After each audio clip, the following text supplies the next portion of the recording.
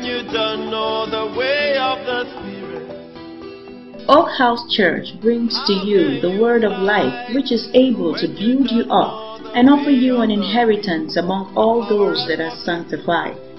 Sit back and listen, and may your life become more like that of Christ as you encounter His Word. God bless you.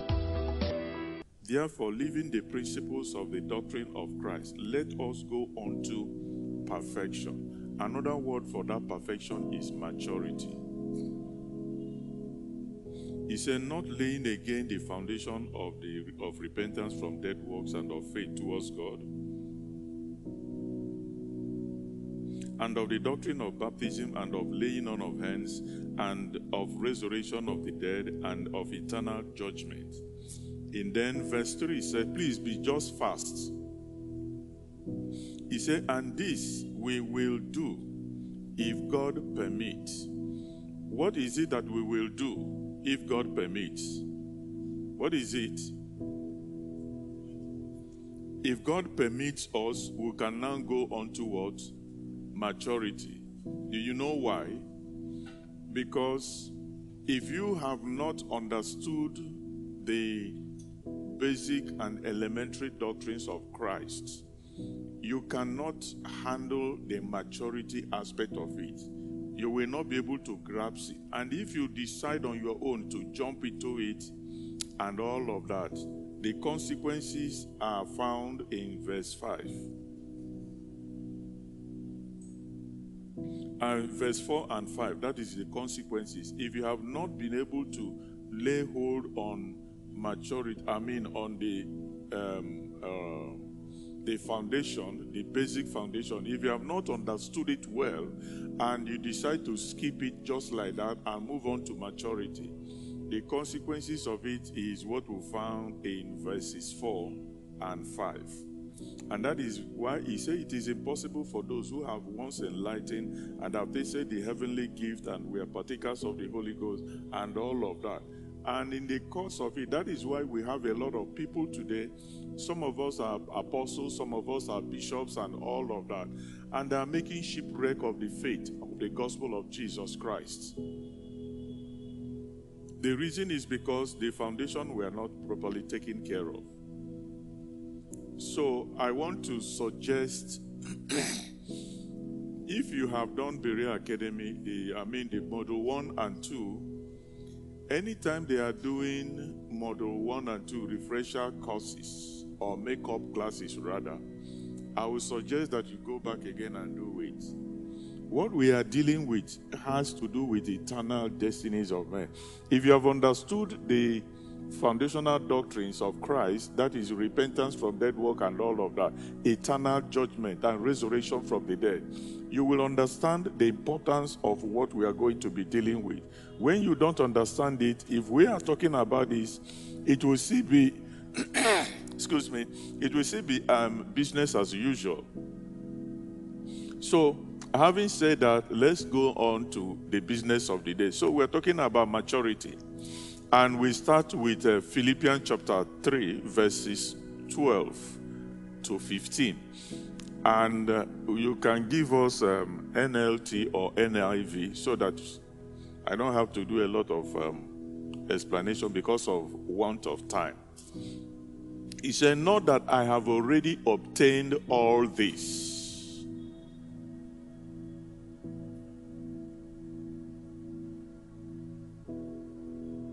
Or have already been made perfect. I have not been made perfect yet. I have not arrived yet. I am still on the journey. He said, But I press on to take hold of that which of that for which Christ Jesus took hold of me. Brothers, I do not consider myself yet to have taken hold of it. That is, he's talking about perfection, maturity. But one thing I do, what is this one thing that he do or that he did is that forgetting what is behind and straining towards what is ahead. Please, um, the child that is talking, you know, we are recording and the noise goes into the. so, not as though as I have uh, already attained, either we are already perfect, but I follow after if that I may apprehend that for which also I am apprehended of Christ Jesus. Brethren, I count not myself to have apprehended. But this one thing I do, forgetting those things which are behind and reaching forth unto those things which are before, I press forward to the mark of the prize of the high calling which is in Christ Jesus our Lord. maturity. Maturity is about becoming like Jesus Christ. Is about becoming like Christ Himself in His image and in His likeness. That is what maturity is all about. And it is a journey that starts right from the day you receive Jesus Christ into your heart as your Savior. You start the process of making Him your Lord. You expose yourself to Him and you continue to learn of him and become like him so that you can act like him, talk like him, speak like him, and do all those things that he did. So you be like a lamb of Christ or a lamb of God, and at the same time, the lion of the tribe of Judah. So that is fullness of Jesus Christ. That is the journey that each and every one of us should be making. And this should be the vision of every Christian. Give me Ephesians chapter 2, uh, Ephesians 4, verse 13. Please fast. Ephesians 4:13. Until we all reach the unity in the faith and in the knowledge of the Son of God and become mature, attaining to the whole measure of the fullness of Christ then we will no longer be infants. You see, we will no longer be infants tossed back and forth by the waves and blown here and there by every wind of teaching and by the cunning and craftiness of men in their deceitful scheming because there are so much. And as a result of, as a matter of fact, majority of us are where we are today as a result of the kind of teachings, the kind of exposure that you have received. A woman came this evening. I was actually in the house. I was getting ready for all this. And um, I got a message that somebody was waiting for me in the church and that I had an appointment. She, I had an appointment, or rather, that I gave her an appointment. I couldn't figure how manage and when and how, but anyhow, I decided to just come. And when I came, I saw the woman. When she began to talk, I remembered somehow in the past, after a particular meeting, yeah, I think uh, um, Night of Power, I just remember then when she was talking. And I actually, she asked me which of the days for counseling and all of that. I said, You come on Mondays, I will see with you. So it just occurred. I said, Okay, so why are you here? And then she began to talk about the kind of problems that she has gone through in life. And however, she opened her mouth and said to me that she has met so many men of God, even that GO of the redeemed has also prayed for her and laid hands on her, but her problem persists. And why she came was that he said she saw a banner of uh, the program that was coming up. And so there was a particular name of the woman. He mentioned the name of the woman. I can't remember. So when she mentioned the name of the, I said, but the woman is not here. We didn't have any poster that appears the names of different um, ministers and all of that. And we don't even have any name of any minister on the whatever. So in the course of whatever, I remember that it was this church here that had the poster.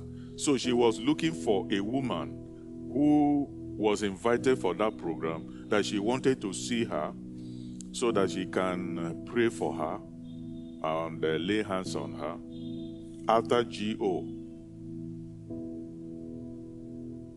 You see, how did it start? Where did she begin? is the same thing that we are dealing. There are many of them today. Majority, there are many, uncounted. They are in their millions. That's what the Bible is talking about in the book of Ephesians, chapter 4. To solve this problem, that is why, go to verse 2.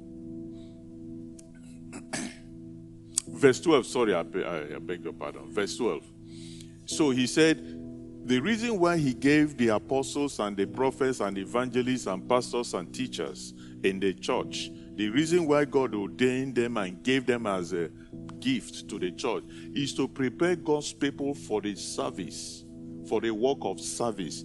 Number one, if you if it's um, um, um, King James version, it says to mature the saint, maturity first and then to serve, and then to edify the church. So there are three reasons why the fivefold ministries are given. Number one is to mature the saint, which is actually what we are beginning to do now. We have laid that foundation. So if your foundation is faulty, you are not going to build, you are not going to attain this maturity as you ought to. So, this foundation is to prepare God's people, number one, for the work of service, number two, and so that the body of Christ may be built up. Now, so you see, the maturity is not an end. Maturity here is not an end, is a means. Because the end of maturity is that you are going to become a servant. You begin to serve in the house of God. That is actually the purpose of maturity. Because before you can begin to serve God, you need to be taught. We need to be trained. We need to be guarded. We need to be informed on how to serve God. You can't just serve God anyhow. God is so big God is so excellent. God is righteous, He is holy. You have to understand the modus operandi, the way God operates. You must understand what pleases Him and what displeases Him. You must know who God is. You can't just force anything on Him. You can't just give Him anyhow service and ex- um, expect Him to accept it. He will not. Before people go to serve or become uh, an ADC to either the president or the governor, or you become even a cupbearer, or become anything at all in the in the king's palace, or even in the presidential or the governor, or whoever those great men or big men and all that. Before you go to serve them, you have to learn there are protocols you must have to understand before you can do that. In the same way, you can't just come to serve God. You can't just budge into the church and say you want to serve God and all of that if you have not been taught. So we say the reason why we are talking about maturity, God wants us to mature, is number one. So after the maturity, you are now prepared to serve God. So that when you hear a lot of people say that they have served God and they have been serving and they have been serving, and you look into their life, you see little or nothing to show for it. So the reason is because you can serve God, you can serve God in quotes for 20 years, and all that you have done in the name of service does not have one record of it in heaven. And so the blessing that's supposed to accompany that your service both in this life and in the life to come, is nowhere to be found. So, like I said, is a journey that begins once you receive Jesus Christ as your Lord and your Savior, and it continues. When it's going to end is on the day that you meet with Jesus Christ face to face. That is when your maturity is going to end. And so, evidence to prove that you are qualified to sit in this class. Now for this maturity the evidence number one is that your priorities about life has changed It is because your priorities have changed. If your priority is still yourself, my house, my husband, my family, my cousin, my mother, my father, if they are still your priority before ever you think about God, you have not, you are not yet ready for the journey. If you have, I'm going to show you, I'm going to tell you what it means to putting God first. Because when we talk about putting God first, we think um, putting God first means if you if somebody is offering you a bribe and you are fixed between either accepting the bribe or rejecting the bribe yeah that is a, that is part of putting god but, it, but that is the elementary putting god first means everything in its totality if for example you're supposed to conduct prayer meeting in the church. Hmm? And your father dies. And you just receive a note that your father dies and your brothers and your sisters are coming from all parts of the world to come and meet you know, so that you people can plan and all of that, or maybe for the burial, and you are supposed to hold prayer meeting. You will leave that until you are done with everything about the service of God before you give attention to that. That is what it means putting God first. And when you do that, when you do that, your father, your mother, your uncle, your cousin, they will take offense. They will persecute you. They will call you names. Because if you don't do that, it means that you are still a pleaser of men. You are still interested in people more than you are to God. So that is why when we talk about maturity, it's not for children.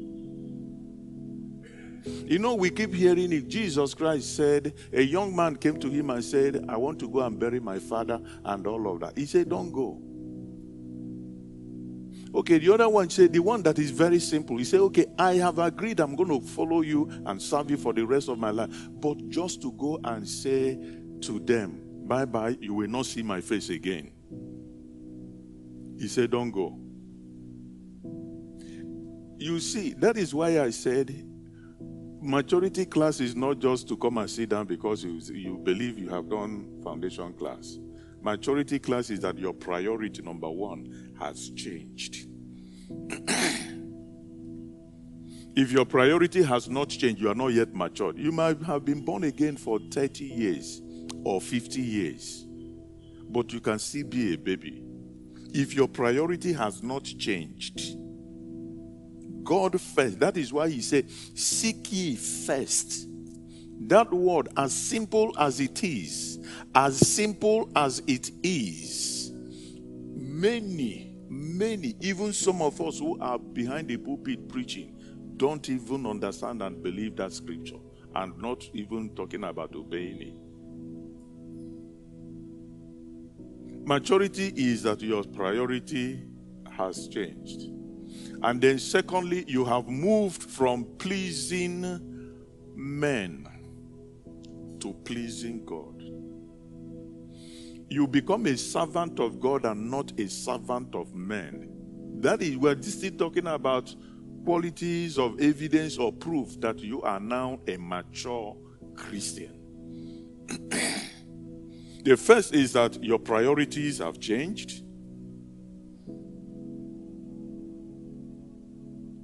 Number two is that you are no longer a servant of men, but a servant of God. You are not looking at people's faces anymore.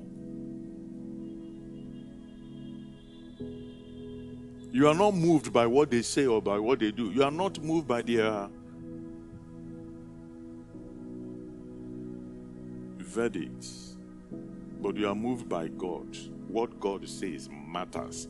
And you see, that's why the Bible says anyone that wants to be godly in this life, you must suffer persecution in the hands of people. You must be misunderstood. If people do not misunderstand you, then you are a servant of men. If you want to please people and displease God, you are a servant of men, not a servant of God.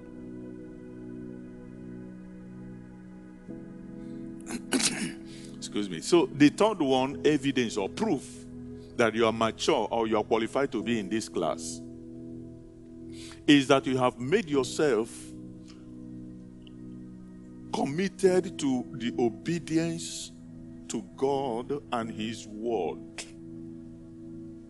It is the Word of God that counts, irrespective of how you feel, irrespective of how they feel irrespective of how complicated the situation has been, you stand on the word of God. It's the word of God that drives you. It's the word of God that moves you. Irrespective, no matter you are not a you are not emotional person and you don't bring emotions into it because you want to bring emotions and all of that, you start weeping sentiments and stuff like that. No, you have come to the point where the word of God is not to be contested in your life. It's not that you have, you see what Paul said, it's not that I have arrived. But one thing that I know, I put behind everything and I keep pressing for the mark of the of the prize of the high calling which is in Christ. These are the three conditions for you to be here today. Number one is that what? Your priorities have changed. Number two is what?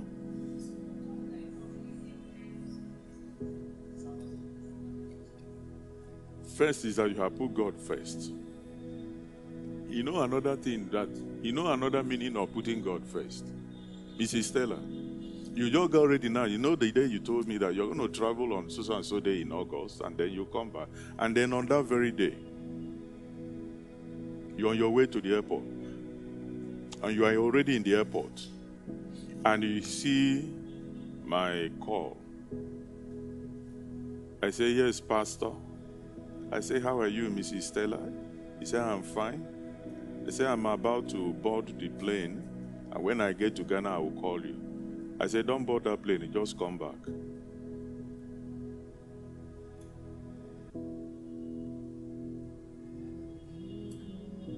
Too hard, is it not? Is it not too hard? That's why you are a mature person. That's for maturity. People who are in the flesh cannot take it. Because it could be that there's something God tells me to keep you from traveling. And it could be that God wants to take you to some higher heights and He wants to prove you first to test whether you're able to pass this test before He gives you, He proves you. Before He puts you up there, there are some tests He will give you. He will break any other person around you, you will hear it. He will say you are mad.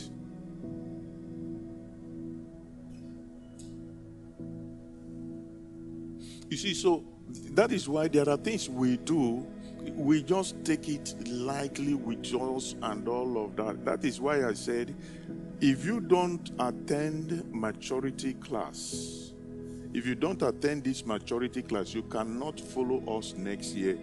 I mean, in the way of serving God. You can't. Because there are some things we are going to be doing. And we are going to move faster than we used to. The end is around the corner. We cannot just continue to be crawling. And you cannot do that with babies, with people who are still drinking milk and all of that. No, you're going to have a lot of casualties. So that's why I have mentioned the condition for you to be in this class. If you have not attained it, then you are not yet mature. So you are not ready for service. Because what is involved in the service you find out that you have not been serving God before. That what we have been doing is uh, you serve God in, according to your, in your own terms. Because you see, God will not put a demand on you until He first of all does what? Teaches or trains you or informs you or prepares you before He will put that demand. And so that is why we have not had any demand of any sort at all. Nobody has ever been put under that kind of demand in this church. And I know what I'm saying.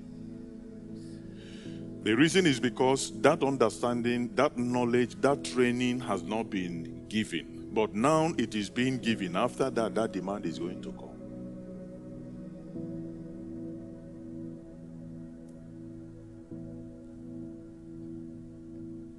So you see, like I said, maturity is not an end, it is a means. Because there is no need for you, when you keep learning and you keep learning and you are not giving out, if you are just eating and you're eating and you are not giving out, you are not using the loo, you are not wee wee, you don't urinate, you don't use the loo and all of that, you're going to have a problem. So when you are receiving the impartation and the message and the word and you are being fed, if you don't have the means of giving out, you are going to be stunted, you are going to be stagnated, uh, uh, uh, yeah, stagnated, and you are going to become um, um, apathetic, spiritual apathy will step in. That is why you see people who have been who have been in the church for 10 years, for 20 years, for 30 years, they have been born again and they have been hearing the word of God, and there is no way they don't give, they don't give out, there is no expression at all. They are the greatest cause of the problem in the body of Christ because everything they have received, they are expected to give out, and they are not giving out, they hold it, they keep it to themselves. And that is where spiritual lethargy comes in, spiritual apathy.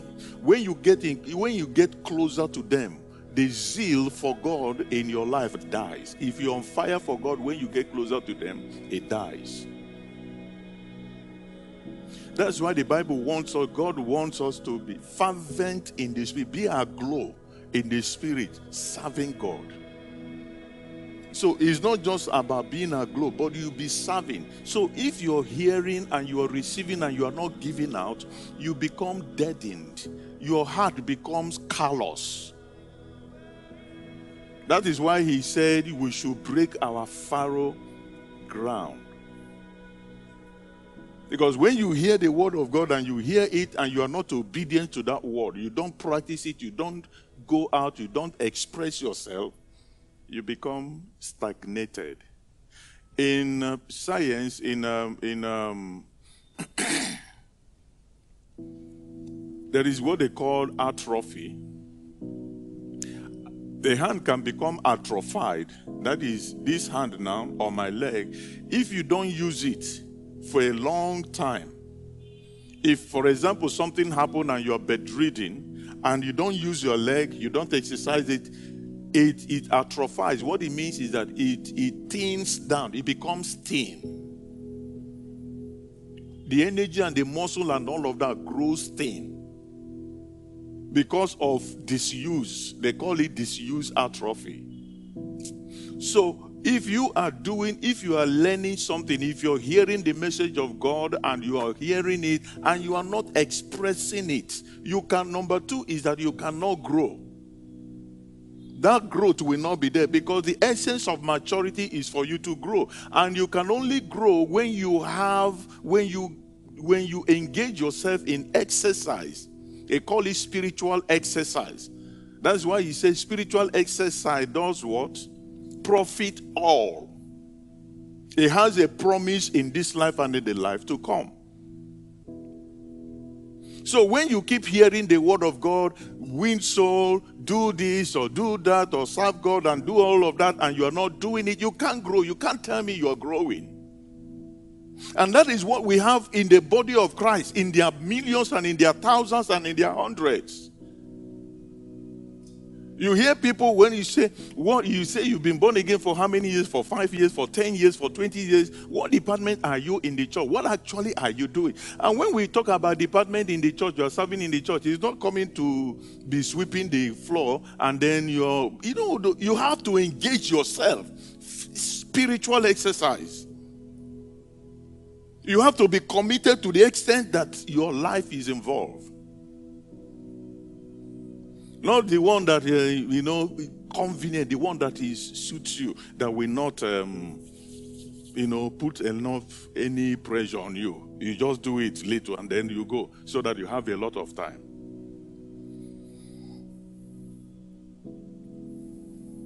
So we say study without service leads to spiritual stagnation, and serving without studying leads to spiritual lethargy. If you want the slides, you can have it later. So, but it's important you. we are still talking about maturity. The topic we want to deal with today is on service. So that's why I said it's a six credit load. So, one of the keys for maturity, if you're going to be mature, one thing that is required is that you have to be a person of consistency, a consistent Christian, consistent in that you are constantly doing that thing that you are committed to do. Whether there is rain falling or whether there is sun shining, or whether there is tempest everywhere, no matter what it is you are, the Jesus said, Blessed is that man that when his master comes, he will be found doing that same thing that he was committed to do. Consistency.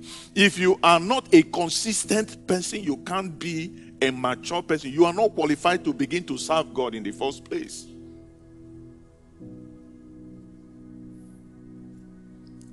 Number two is that you're going to be a person of perseverance. You persevere, you endure, you take pressure. Discomfort is going to come in the place of service. So you have to be equipped with all of this before you start the service. That is why he said, I set apostles and prophets and evangelists and pastors and teachers to equip you for the equipment of the brethren, of the Christians, so that they can serve. So you have to have that spiritual energy, the inner strength to endure Peter, Paul was writing to Timothy, he said, as a soldier, endure hardness. You can't serve God because it is, uh, you know, some of these things that we do. You remember the people that brought us this gospel? Some of them died on the road, some of them died in the sea, some of them were eaten by wild beasts, some of them were killed. Yet, the next group heard what happened to the, their uh, uh, uh, predecessors, and yet they stepped out to continue. You must have that kind of equipment. And of course, in order to do this, that is why you need the discipline that is needed. And so, one of the actionable things you are going to be doing, number one, is that you find out you, you are a regular student of the Bible. You study the Bible, study the Word of God always.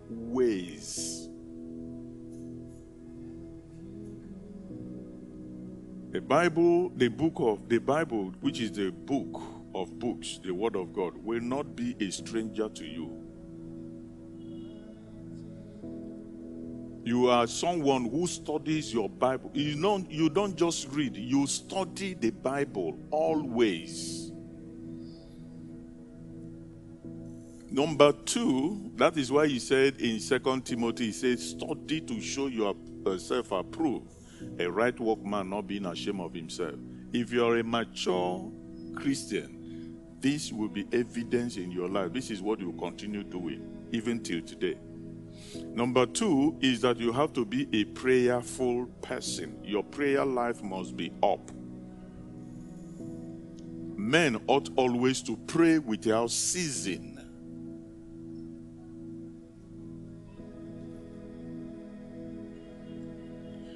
According to Luke 18:1, and next one is fellowship with the brethren. He tells us in Hebrews 10:25 never to forsake the assembling of the brethren. Let us not give up meeting together as some are in the habit of doing. They have a habit, is their culture. They only come when it is convenient. When it is not convenient, you will not see them. They will have cogent, reasonable reasons why they will not come, why they will not be there. Then the second, the next one is found in Matthew 20, 28. He says, is to serve. You serve. A mature person will commit himself to the service of God. And then finally, you are. 1 Corinthians chapter 4, verse 1 tells us. He says, Just as the Son of God did not come to be served, but to serve and to give his life a ransom. So the last one is still worship. 1 Corinthians forward. So then, men ought all to regard us as servants of Christ, as those entrusted with the secret of God. Now it is required that those who have been given a trust must prove faithful. Give me is verse 1 that I said, verse 1.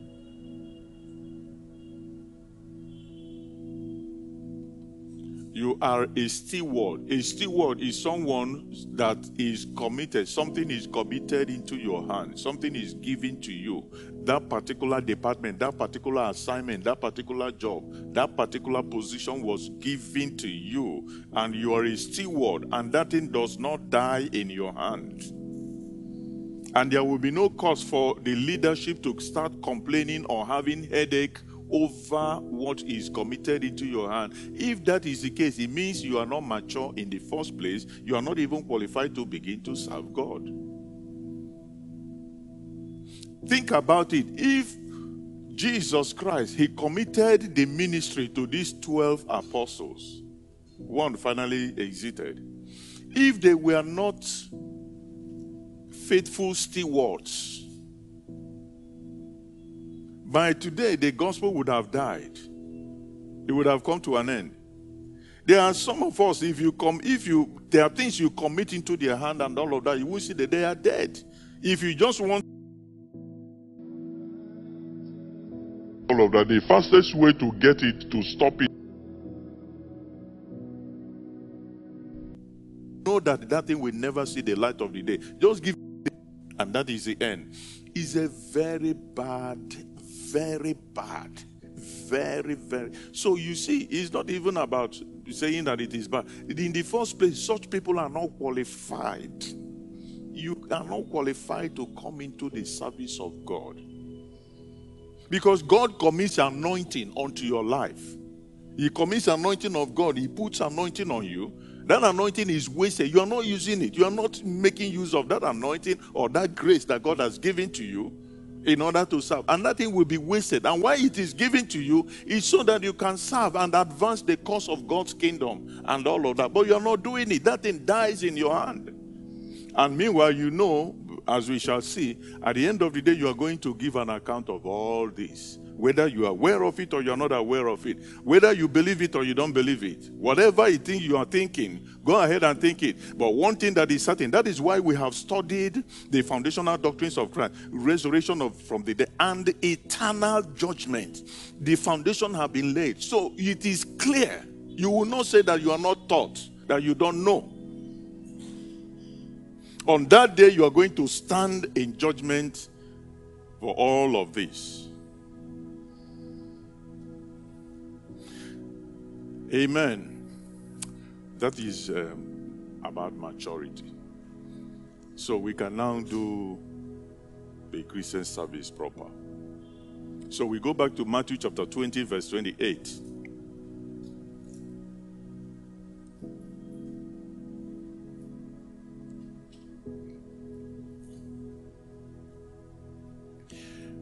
There are two words that define the life of every Christian. It defi- that is what your life is defined in these two words. Nothing more, nothing less. Don't add to it, don't remove from it.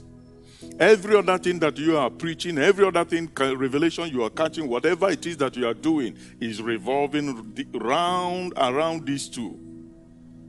He said, just as the Son of Man did not come to be served, but to serve and to give his life as a ransom for many. You see, the two things that revolves your life revolves around. Number one is to serve.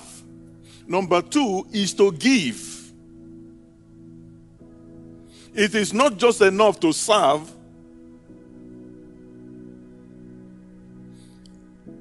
You must give. Because Jesus Christ is a perfect example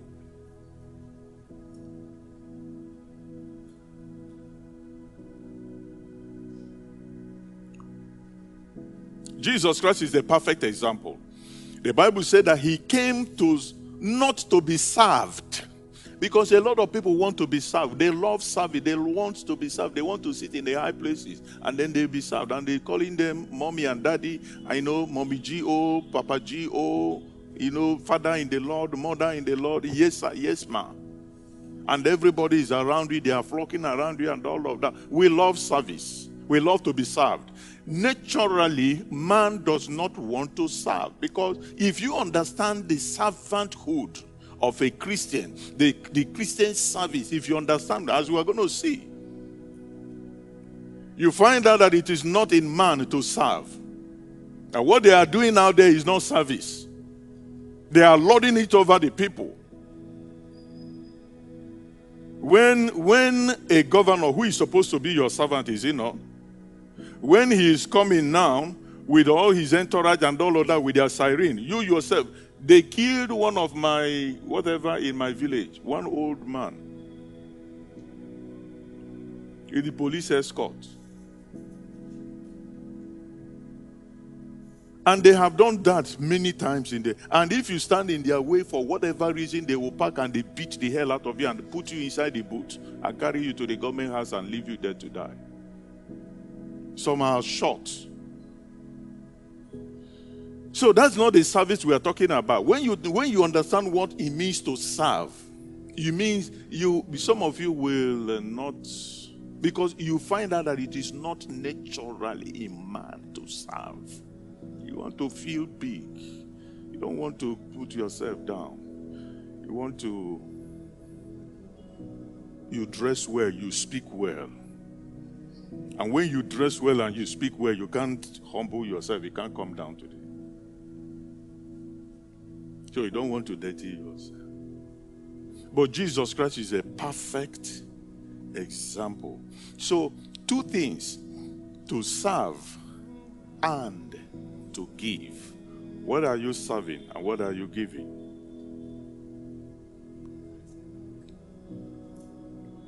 So we say that service is the heart of the Christian life is the bedrock, the bedrock, the foundation, is the engine of your heart. Is the, that is what defines your life service and giving.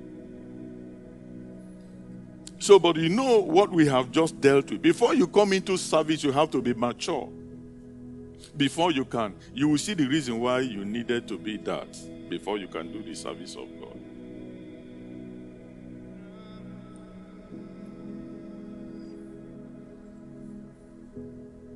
So, what do you serve? Number one,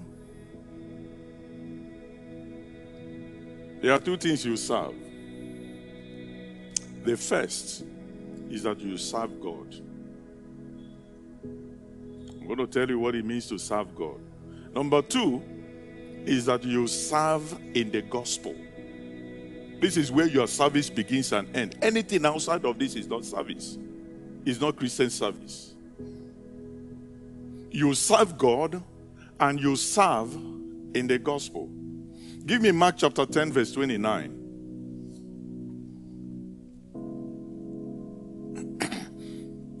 I tell you the truth. Jesus replied, No one who has left home, excuse me, or brothers or sisters or mother or father or children or fields for me and the gospel. Give me King James. I didn't say verse 30, just verse 29. And Jesus answered and said, Verily I say unto you, there is no man that had left house or brethren or sisters or father or mother or wife. Remember here, he didn't say wives. Or wife or husband. He didn't say husband here. Sorry.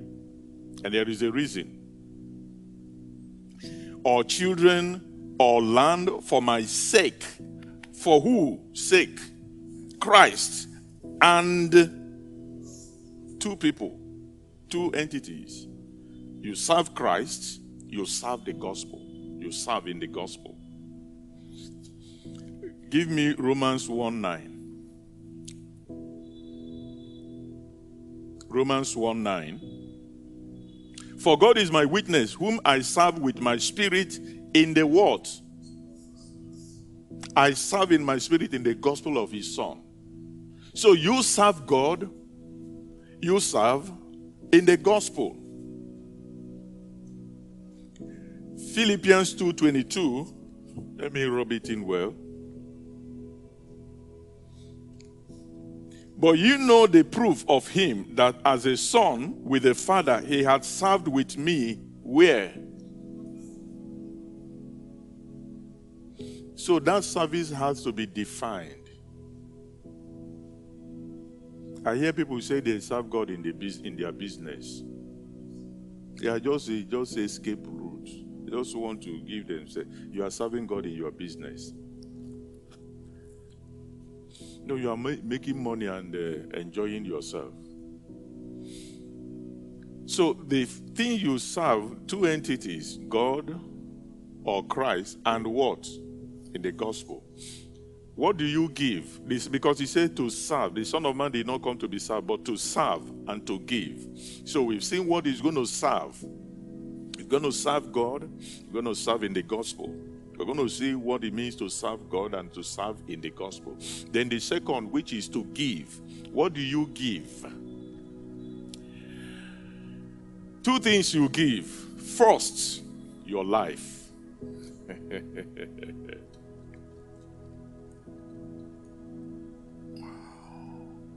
Mark chapter, Matthew chapter 20, verse 28, that place where we read the scripture we read, he says, For Jesus did not come to be served, but to serve and to give his what? Life, a ransom. Is to give his life. You see, that is why maturity is not for children. If you have not come to the point where it is about your life and life laid down, you have not started. Because you have to first of all surrender your life. We're going to see what it means.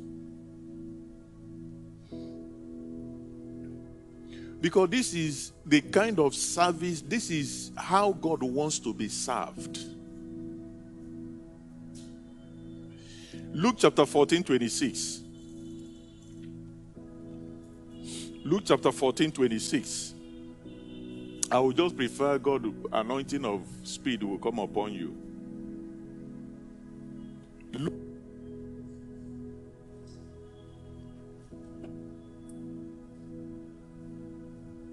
If any man come to me and, ha- and hate not his father and mother and wife and children and brethren and sister, yea, his own, his own what?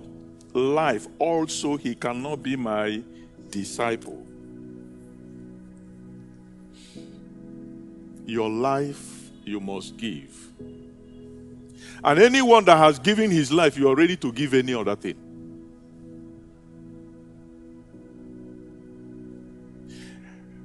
If you give your life, there is nothing else you cannot give. You will give God, you will empty. If they say that your only car, you will drop it. If they say that your job, you will drop it. They say that your business, you will close it down. If you have laid your life. So the demand is your life must go, must be laid down. If you're not ready to lay down your life, then you're not ready to serve God. Because there are demands.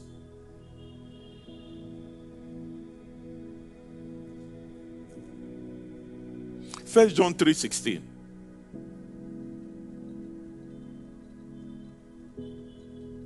Hereby perceive we the love of God, because he laid down his life for, for us, and we ought to do what? We ought to do what? Lay down our life. For who? For the brethren. Is a life laid down. If you dedicate, if you make up your mind you want to serve God, the first thing is that what is demanded of you is a sacrifice of your life. God wants to take a sacrifice of your life. And once He collects your life, nothing else is left. This movement, eh? You distract me a lot. And you cut off the flow. God help me. Second Corinthians 8 1. 2 Corinthians 8 1 is about the church in Macedonia, the brethren in Macedonia. Moreover, brethren, we do you to wit of the grace of God bestowed on the churches of Macedonia. Verse 2, we are reading up to verse 5.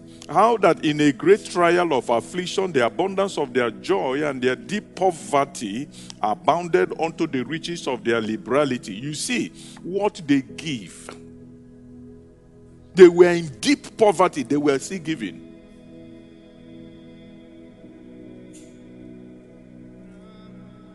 It's not just to give your life. There are two things you give. You give your life, which is for their own power, I bear record here, and beyond their power, they were willing of themselves. Verse 4 praying us with much entreaty that we would receive the gift and take upon us the fellowship of the ministering to the saints. Verse 5. And this they did, not as we hoped, but first gave their own selves, their lives. To who? To the Lord. And unto and unto who? How many of you are also ready to give your life for me? It's the only one hand. But he said to the Lord and unto us. I didn't ask you to come and die for me. I'll be able to die for myself. I know that is what you are thinking. But it's a life laid down. If you are going to serve God, this is the demand. There's no shortcut. If you are not ready to do that, then you are not ready to serve.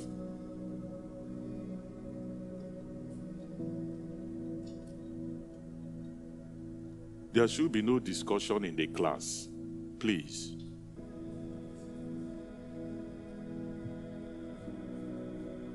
Luke chapter 14 33. The second thing that you are going to give, we have seen it in this uh, Second Corinthians 8. They gave, they were giving their gift. They gave everything, even in their deep. The Bible didn't just, you know, deep is uh, is an adjective that qualifies the kind of poverty. Okay, deep is an adjective that qualifies the noun. The noun is poor. That these guys are poor but he described the level of poverty. He said they were. What is the description? What is the, the, the qualification of the poverty? Deep poverty. They were deep in poverty, and yet they were. And yet they were.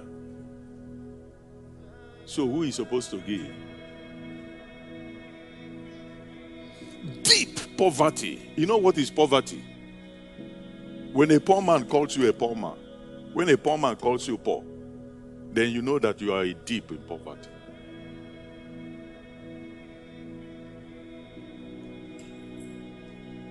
So likewise, whoso he be of you that forsake not all that he did, what? Cannot be my disciple. You can't serve me. You can't follow me.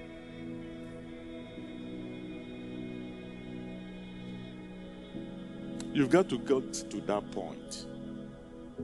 And guess what? You know all this. It's just a, you know what? You know there. Is, I'm sure as I'm talking now, there is a fight. There is a fight going on. You know what that is? Is self-preservation. Is self-preservation. You want to preserve your life. Jesus said, if you want to preserve your life, what will happen to you? What will happen to you? You will lose it. But if you're ready to lay it down, if you're ready to lose it, what will happen? It's a choice. It's a choice. Self preservation, self love.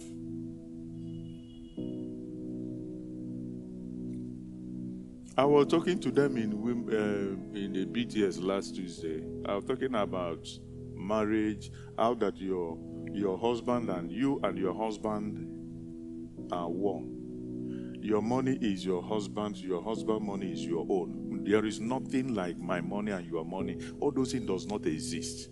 Yet some people were saying it, know they were joking, but they mean what they are saying. It wasn't a joke.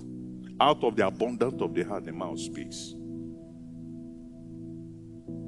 He said, uh, jokingly, uh, Pastor, my husband's money is our money. My money is my money. Why? Self. He's full of self. He's self. You know, some that because we don't want to call it by his name, we just give baptismal name. You know, sin is, uh, we say, corrupt politicians. Corrupt politician. No. If you want to, that's baptismal name. If you want to call it by his name, evil politicians. They are evil. Evil is weightier. You say, This man is evil.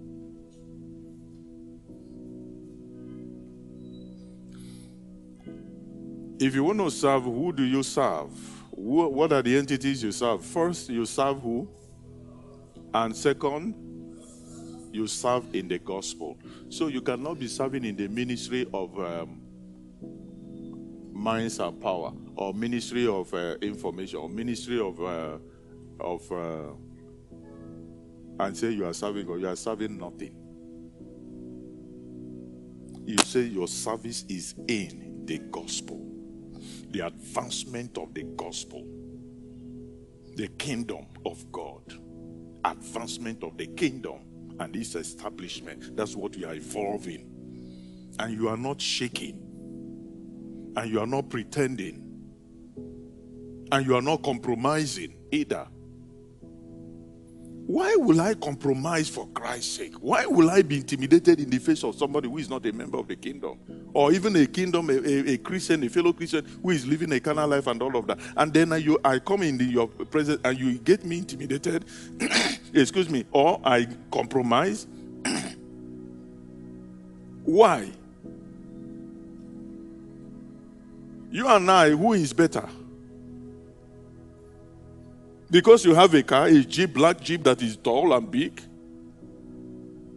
Because you are living in uh,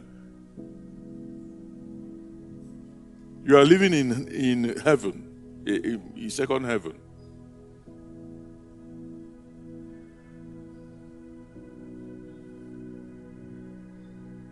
I'm not intimidated the intimidation is out of the issue. We don't even talk about. I don't have. I don't even have any.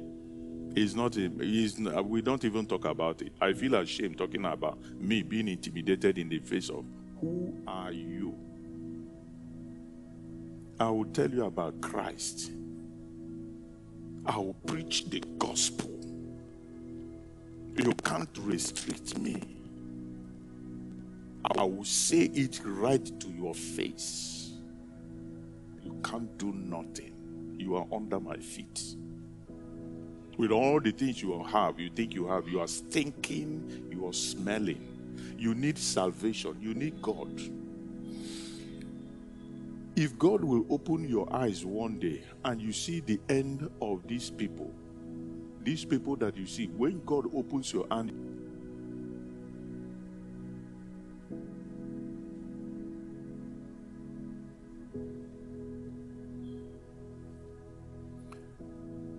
what does it mean to serve God?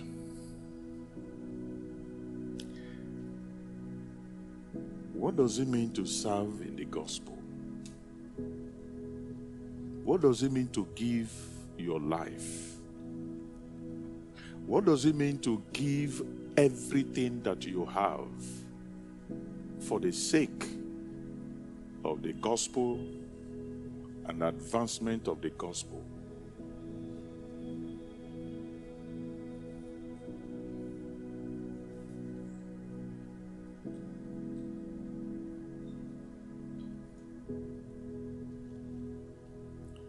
Now, let's let me answer that question by looking at the unique nature of the Christian service. The unique nature. Why Christian service is different from serving in the United Nations. Why Christian service is different from being the Secretary General of the United Nations. Why serving God is different from every other thing you can think about. Why it is the most important. If you have not served God, you have not served, you have not served. If you have not served God, you don't have a life to live. Every soul created by God is commanded to serve God. Is not suggested, is commanded. So, number one, I said the uniqueness or the nature, the unique nature of Christian service, number one, is in its source. The source, the source first is the source. I will explain. And I explain it with Second Corinthians chapter 5, verse 17 to 21. Second Corinthians chapter 5, verse 17 to 21.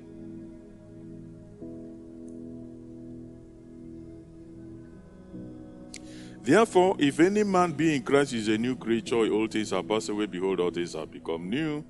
Verse 18. And all things are of God who had reconciled us to himself by Jesus Christ. All things are of God who had reconciled us to himself by Jesus Christ and had given us given to us what? The ministry of reconciliation and has given us what? The ministry of reconciliation. Yes, verse 19. To which that God was in Christ reconciling the world unto himself, not imputing their trespasses unto them, and had committed unto us the word of reconciliation. Now that we are the ambassadors for Christ, as though God did beseech you by us, we pray you in Christ's stead, be ye reconciled to God. For he had made him to be sin, for who knew no sin that we might be made the righteousness of God. Now, why do I what is why is a Christian service different from every other service you are rendering? The first is from a source the source of your Christian service comes from the fact that you were dead and you are good for nothing but to face the fiery raging of the fire, unquenchable fire in the lake that burns with sulfur and brimstone. That is where your end is supposed to be all have sinned and they have come short of the glory of God. And the wages of sin is death. The wages of sin is death. And so somebody just came and rescued your life. Somebody now came in and rescued you from destruction and saved your life. What are you going to do with that life that now that you are rescued to go back and do? And the person that rescued you is telling you the reason why I rescued you is so that you can serve me. Because you did not have any other opportunity to do anything. Your life has come to an end. And not just to an end, to do destruction. And so he reached out to you and saved you from sin, saved you from hell, saved you from eternal destruction. So, what are you going to do with your life? Go back again and be con- to continue with what you are doing. If he didn't save you, what will you be doing now? Will you have a life to live in the first place? The answer is no. Will you have the, the, the, the, time to go back and do your job and do whatever it is that you want to do? The answer is no. If he didn't rescue you, will that man that is looking for you call your boss and you are subservient to him and all of that? Will he have the time? Listen, if you are down now, you are sick. If you are sick now, to the extent that you are admitted in the hospital, they will abandon you and move on with their lives. The only one that can save you again is the same person that is calling you. They don't have your interest at heart. You think they do. They give you all those emoluments and give you all those incentives and all of that and brainwash you. Wait until the dice are down, are cast, the down is cast. Wait until they they go and get stuff. You see what will happen. And so these are the people we give our life and give our time, give everything sold out to them. So serving God is just an addition when you have chance. You see, eh? you see, you see this service to God. You serve God in your own convenience. You've walked and walked and walked and walked the whole day. You are tired. When it's time to come for prayer meeting, oh, I'm so fagged out. I can't do it. I can't come. You sleep off. Let me just have. It's God's time you're taking. You see, is the mind, is the way you program your mind. The thing is in the mind. This thing is in the mind, is in the mind of man is the mindset. If you reset it, your activity, your actions, and everything will change. If you try to change it and all of that, it will not work. You will change it today, it will work today, tomorrow. Um, after that, you go back to square one. But if you reset it from your mind, it's a mind reset.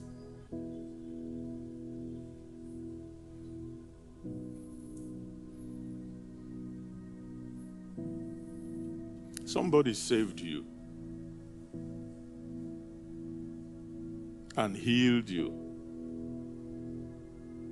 And he's not calling you in order for you to to collect everything. What do you what do you have? What do you what do you have that you did not receive? The Bible tells us.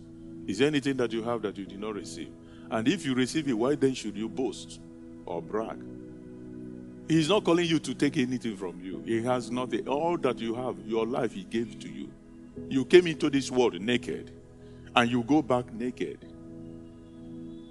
He is actually calling you to bless you, to give you a higher life. Jesus said, I came that you might have life and you might have it more abundantly. It's an abundant life. But we are turning it down. Do you know why? Because of the cares of this life because of the deceitfulness of riches.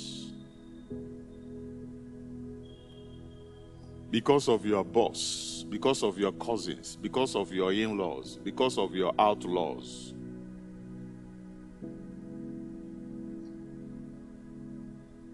Because of mother, because of father, because of sisters, you turn God down. So the uniqueness of the Christian service is in this is in this sense. Number one, it is unique in its source. Number two, it is unique in its objective.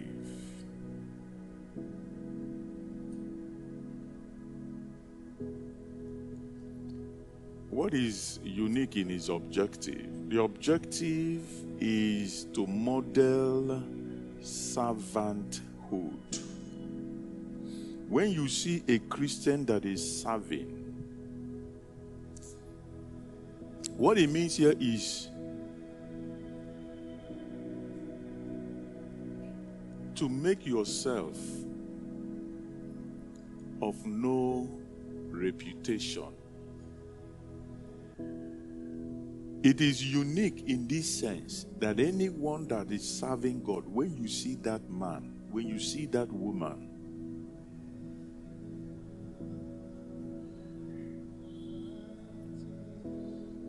is as meek as David. I mean, as um, Moses. God said that Moses was the meekest man on earth as a servant. He has no reputation to protect.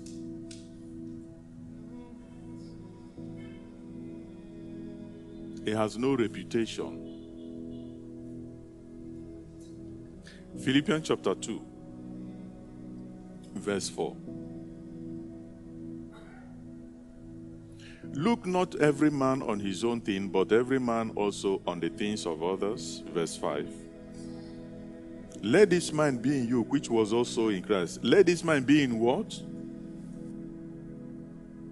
In me. Let this mind be in me. Say, I have the mind of Christ. And what is that mind? You are going to see what it is like. Let this mind be in you, which was also in Christ Jesus. Who, being in the form of God, thought it not robbery to be equal with God. But what did he do? He made himself of what? No reputation. Do you still have reputation? You're fighting for your, you know me.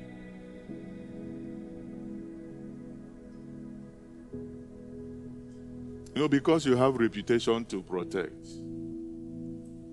you can't drink sachet water. Like John was telling me, he said, you know, lawyers, they don't drink from, they don't drink sachet water. They don't drink from bottle. They don't even drink sachet water, not to talk about. He said they drink from the bottle. They, they don't, they drink, they don't drink from the bottle. You can't give them bottle like this without tumbler to drink. They don't do that. You have to pour it in a glass as lawyers for you. Because they have reputation.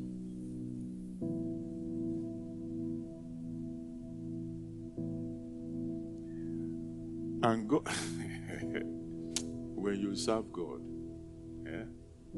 and God will send you to some places, when you get there, what they are eating, if you see the food they eat, oh my gosh, oh my gosh.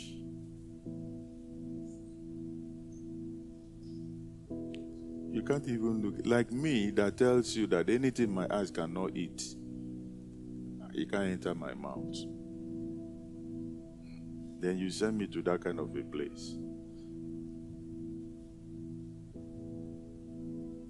To eat it. Ask me whether I will eat it. I will eat it. I will, I'll my mind. I know that as long as I have this, fine. But I will do it for the sake of the gospel. I will do it for the sake of the gospel. If you still have reputation to protect, you are not ready to serve God. If you have reputation you want to protect, you are not ready to serve God. ah, why I cannot come to church because my there is no light. NEPA took light. And so I did not have time to iron my clothes. So my clothes are rumpled. And so because of that, I will not come to church. And you are a worker in the church. That you are a worker, maybe maybe you are your cell leader or your FCU leader or or your whatever. If you are a worker, you are a worker. You report to church, to the meeting, to the service, come what may.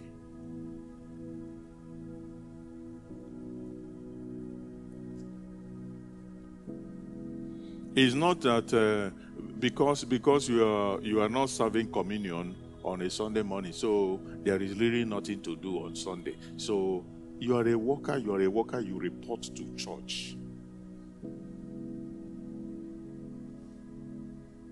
Keep those your excuses to yourself. I want you, I want you, don't just come, don't just come and tell me, Pastor, you know, I will not be in this meeting because what I want you to do is that I want you to get on your knees. Next time, get on your knees and say, Father, I come before you in the name of Jesus Christ. I want to take permission from you. There is a meeting going on in the church today, and I will not be able to come because my cousin is doing their 50th anniversary. So that's why I don't want to come, Lord, in Jesus' name. Thank you for hearing me. So when you now come to tell me, you tell me that, Pastor, I've already taken permission from God. And I will tell you to go. we need to reprogram our mind. You see, eh, when God, see,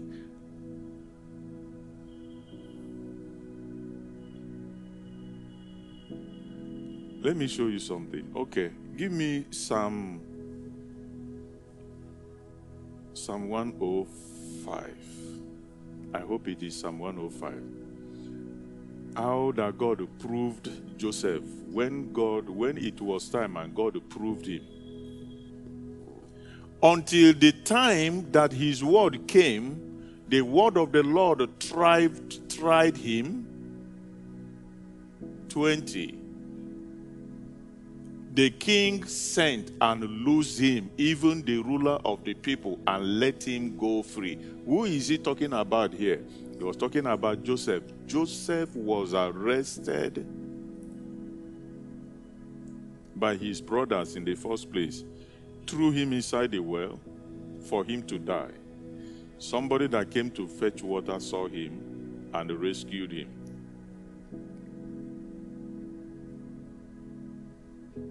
The next one, they sold him to Egypt. You see, all this thing that was happening to him, who do you think was behind it? Who do you think was behind it? God. Was he committing any sin? It was clear. And then they brought him to Pharaoh's house. Potiphar now came. For no just so they collected him, put him inside the prison. He was tried. When the time came, you see, that is what I'm saying about God. If you're going to serve God, it was after this. What was God aiming at? To bring him next to who? To king. Next, after Pharaoh, the next was Joseph. If God, if God, see, learn the ways of God. You know, the other day I was teaching you about the ways of the Spirit. His ways are not our ways. If God is the one, if He is the one, He wants to bring you up.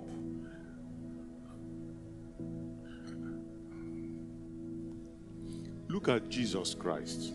Let this mind be in you as it was also in him, who though he was God, did not count it robbery to be equal with God but made himself of no reputation. He brought him down to the ground. Before he lifted. This is this has always been God's pattern till tomorrow. There is no shortcut to it.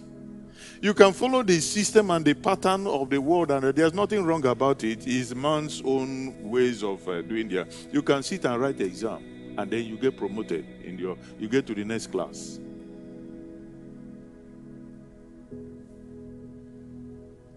When you write the exam, for example, now you write the exam and all of that, and you pass, and then they promote you. You know, some of the things they do in the in some companies are well established. Uh, I think they do it in the government establishments and all of. You sit and then you write the exam and then you get promoted. He said, God has helped you. God has is one lifting you.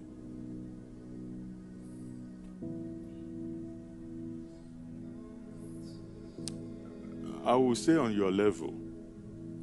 If we come down to your level, we say, Yes, God, we thank God. but if it's God actually doing it, He wants to bring you up. He will clean you up.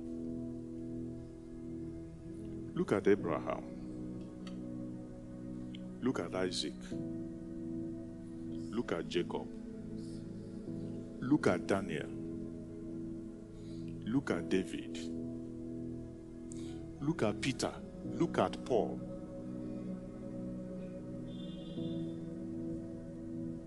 That's God's pattern.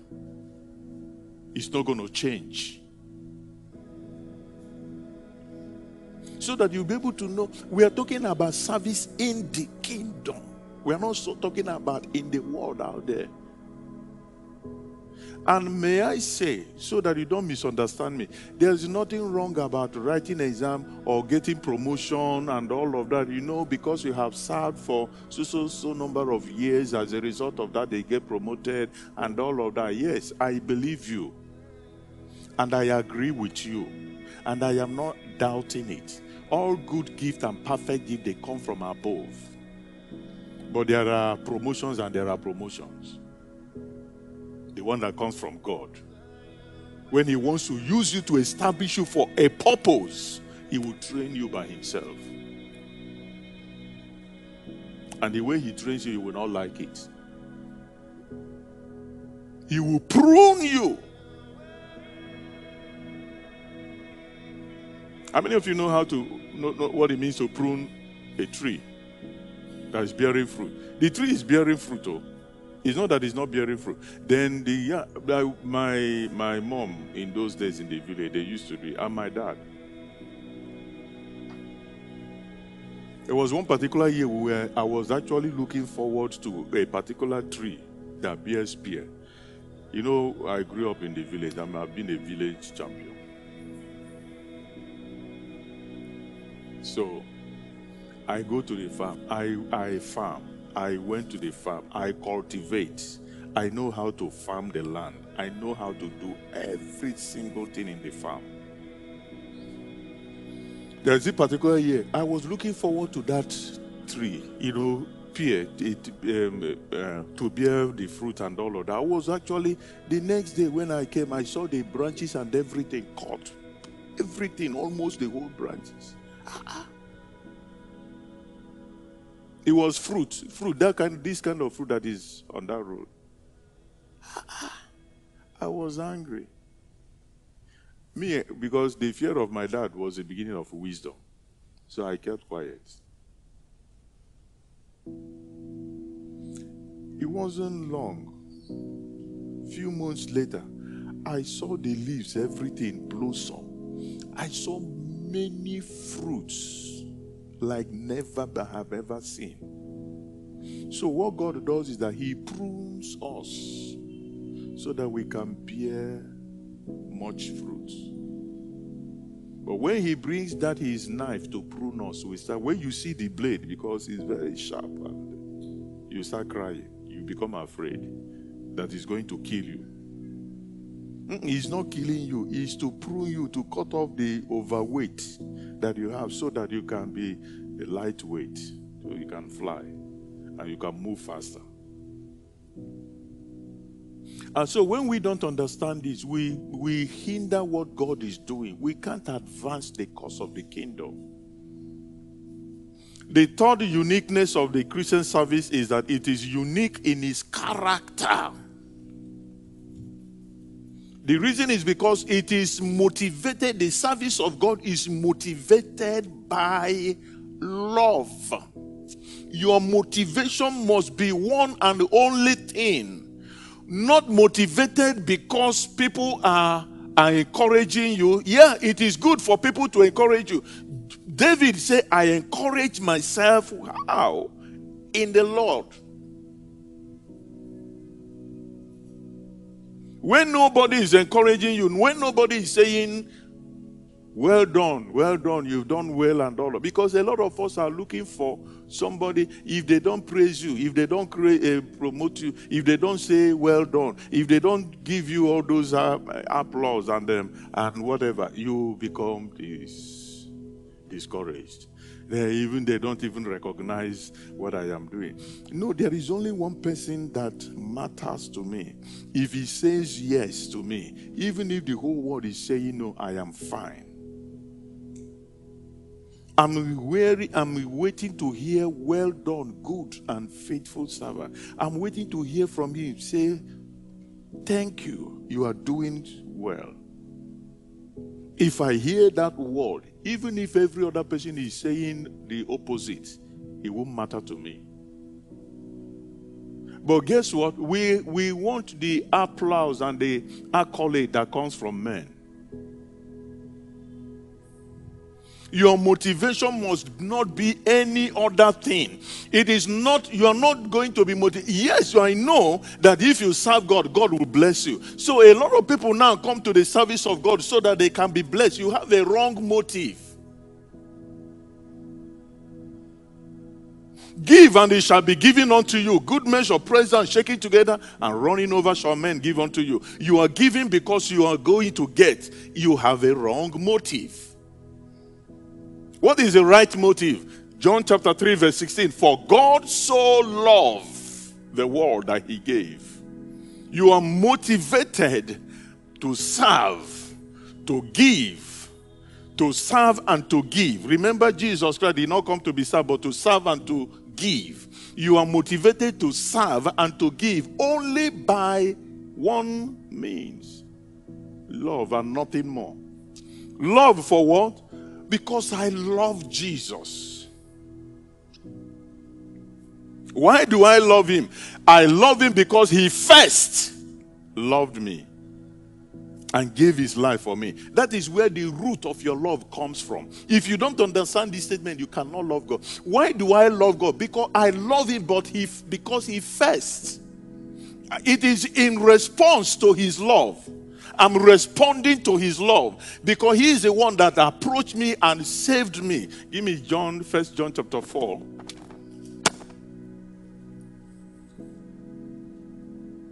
Is it verse 10? First John 4:10. We love him. Herein is love. Not that we love God, not that you do what? Not that you love God, no but that he loved us and sent his son to be the propitiation for our sins. This is the reason why I love him. He died for me, he gave his life, he left heaven. He didn't say that he is God. And even when he came down, he didn't identify with the angel. He could have been like we're the body of angels and all of that. The Bible said no. But he took the nature, the form, our own nature, our own form. He became like us. That is why we are called his, his we are called his brethren. He identified with us. He came down from that his lofty height these are the things that when I meditate, when I think about it, when I reflect on, give me Romans, um, Romans chapter 5, verse 6. For when we were yet without strength, in due time, Christ died for the ungodly. For scarcely for a righteous man will one die Yet, peradventure, for a good man, some would even dare to die. Verse 8, see what he says. But God commended his love. This is what the love of God is. For God commended his love towards us in that while we were yet what? Sinners, Christ died for us. I was a sinner, condemned to death, a criminal. I was an outlaw, condemned to death. And there is nothing you can do about it. No one to save you.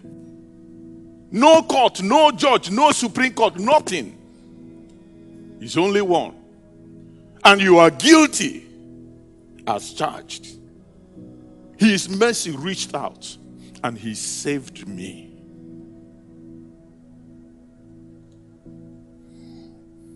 Has somebody actually saved you from a very precarious situation in your life? Has somebody been able to do that?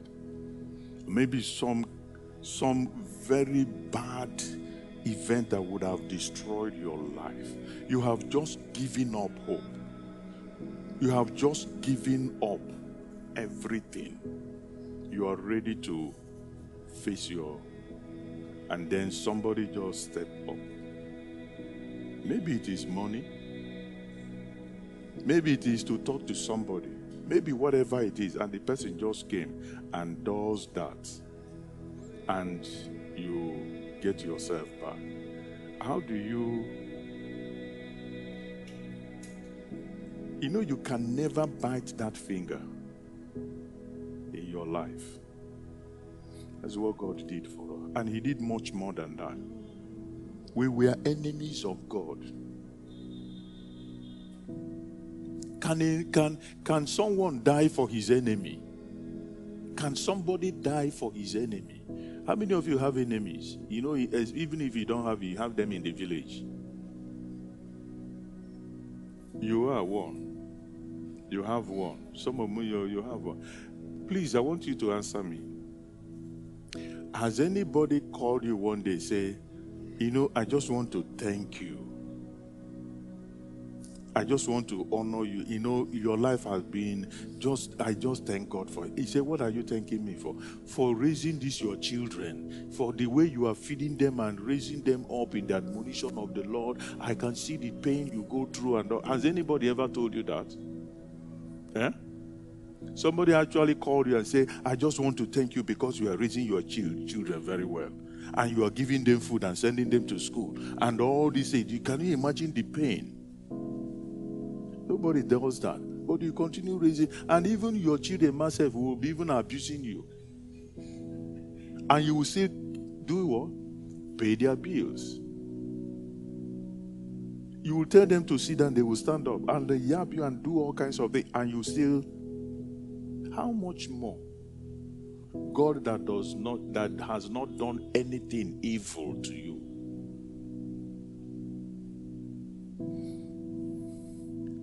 we should be motivated by that kind of love in serving God. That's where, when I think about it, that is what I reflect on. I think about that's my motivation. I love Jesus. And I tell him, I say, Lord, I love you because of what you did. I say, I'm ready. There is nothing you want me to do that I tell me, send me anywhere, anything, anytime. Why? Because he first loved me. That's why Paul was praying. See the reason why. Give me Ephesians chapter 3, verse 17. That Christ might dwell in you richly by, uh, dwell in your heart by faith, that you, being rooted and grounded in love, being rooted and grounded in love, may be able to comprehend with all sense what is the breadth and the length and the depth and the height. And to know the love of Christ, you must know it. Which passeth knowledge. You must know the love of Christ. It is the knowledge of it that will propel you to do the unthinkable for Him. It is the knowledge of His love that will constrain. The Bible said the love of God constrains us. If you don't know the love of God, you can't serve Him. You will still have some things, reservations, and all of that. You will not be able to lay down your life. He laid down your life, so you ought to lay down your own life for him. The men of the old, they did it. Abraham did it. Joseph did it. Isaac did it. David did it. Daniel did it. Daniel laid down his life. Meshach, Shadrach, and Abednego, they laid down their. You know what it means to enter? They know the consequences of disobeying the commandment of the king. They know the consequences. Furnace of fire. It was their life. In the Acts of Apostles, they beat them and commanded them. They say, We rather obey God than to obey you. We need to know. This is the prayer I pray. You see, I have a lot of dossiers of Pauline prayer. There are about 60 of us, more than 60 of them in the Bible. There are more than 60.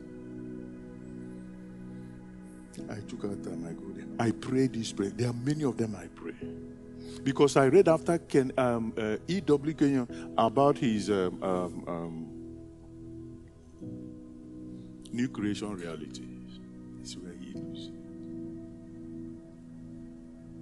That I may be, that I may know the love. I want to know the love of Jesus Christ, the love that passeth knowledge, that I might be filled with all the fullness of God. When you attain the fullness of God, is the love. Love attaining the love height is the fullness of God. That is the way. That is the height of the knowledge and the power and the glory of God, because God is love.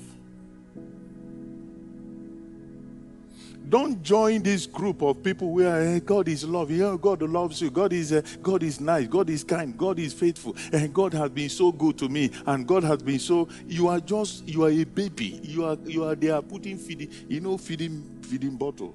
That's what they are pouring in your mouth. Hey, um, um, um, uh, God, I I thank you. Uh, God, you are so good to me. You are so nice. You have healed. That's what we are doing as a, a Christian. Deuteronomy chapter 8, verse 4 tells us he suffered them in the wilderness, kept food away from them to prove what is in their heart. When he was doing that, was there feeding bottle in their mouth. Trying it, they look for more, they look for food, no food. Water, no water. They cried out and began to abuse Moses. Why did you bring us here? To kill us. It would have been better for us to stay back in Egypt. When we were eating cucumber and melon and carrots. For God so loved the world. 2 Corinthians 5 14. 2 Corinthians 5 14. For the love of Christ constrained us, because we thus judge that if one died for all, then we were all dead. Verse 15. And that he died for all, that they which live should not henceforth live unto themselves. Can you see that? You cannot be living to please yourself. You've got to be living at the expense of your life for Christ. They which should not henceforth live unto themselves, but unto him which died for them and rose again.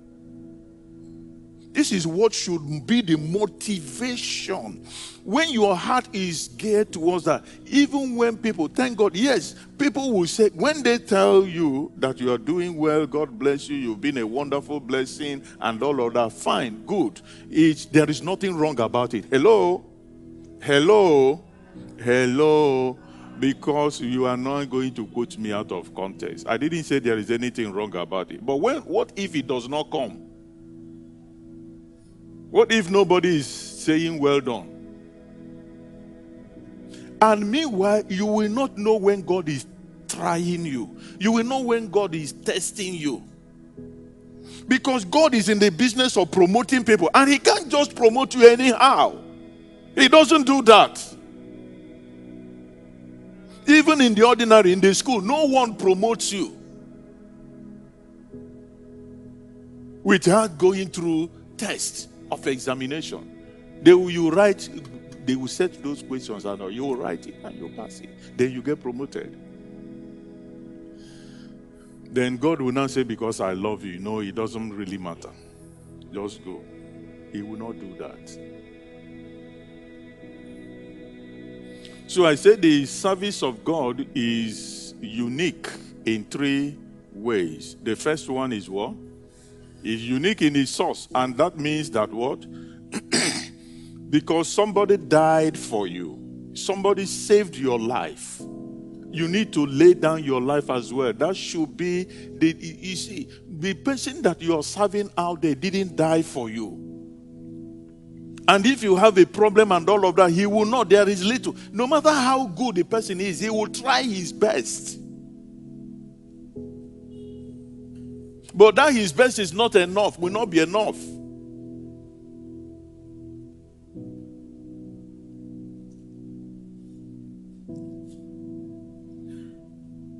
I so much believe and pray that I so much love Valerie of the blessed memory. When she was sick and all of that, eh, my heart, in fact, eh, in the night like this, I would just be groaning, praying. How I wish, what can I do? What can I do to stop this? When thinking about the headache that she complained, and I, I felt the burden and the weight of that thing with all my prayer and all of that, I'll wake up in the night, I will pray and pray and pray, I finish sleep. Is it money? Is it so? But at the end of the day, God still took her. There is an extent to which you can help. Is God that will decide the ultimate. If you serve Him, if you serve Him faithfully, if you honor God with your life, God will honor you. Not only will He will honor you in this life, He will honor you in the life to come. And our greatest hope is that life continue, life does not, and this place is a temporal place. I will rather offend you and please Him as I'm talking to you, I will rather offend you, each and every one of you here. I will rather offend you and please Him than to di- displease Him and offend you. Because if I'm ready to please Him, I know I can please you. I don't want to be men's pleasers when it comes to the things of God. A main pleaser is that I might see you do something that is wrong, that is not good. I will not tell you. Because if I tell you, you will feel bad. And then you may not be talking to me again. And then you may not be sowing seed again to me. And then I will be hungry. And then I will start looking for what to steal. No, I will not do that. That is why you have to live a life is a simple life. Let your need, if you want to serve God, if you want to be a pleaser of God and not a pleaser of man, you, your need must be simple. Your needs must be few. If you're the type that hang yourself up there and all of that, with the high and the mighty and all of that, you will have a problem. You want to please everybody around. One thing that God hates. Give me First Corinthians chapter 1, verse 26, 28 or 26. First Corinthians 1. Yeah. And the best things, okay, verse 27 say, Brethren, for you see you are calling. 26. He said, For brethren, for you see, you are calling brethren, how that not many wise men after the flesh, not many mighty, not many noble are called. Verse 27. But God had chosen the foolish things of the world to confound the wise, and God had chosen the weak things of the world to confound the things which are mighty. Verse 28 And the base things of the world and the things which are despised had God chosen, yea, and the things which are not, to bring to naught things which are. 29 That no what? Flesh shall do what? Does that make any meaning to you?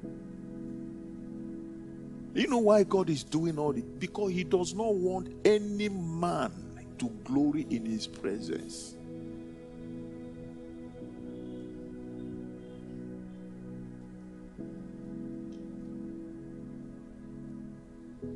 Amen.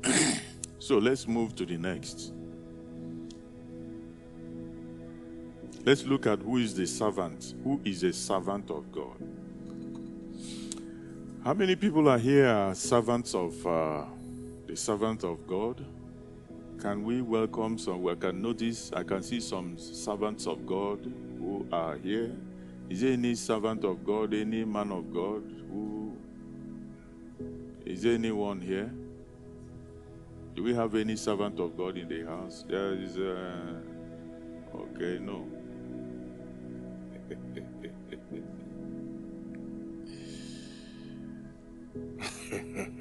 there is no servant of God.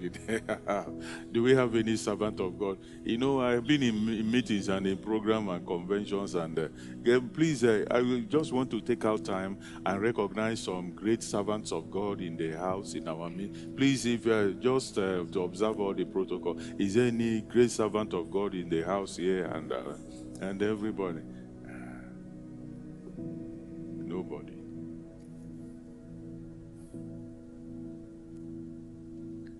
The deceitfulness and the cunning of men lying in wait to deceive, fake doctrines, wrong teachings. Wrong, bad. Can we look at the scriptures? Who is a servant of God?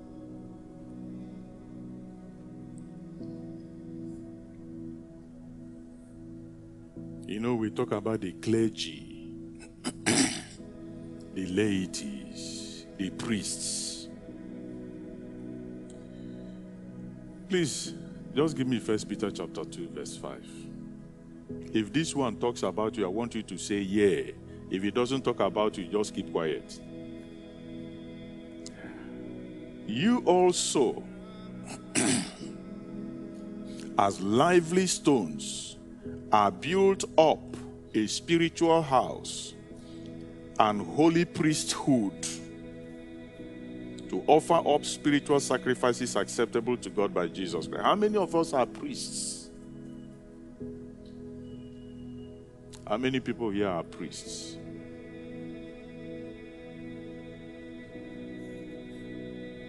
What about our pastors? Are you not priests? If you're a priest, can I see your hand up?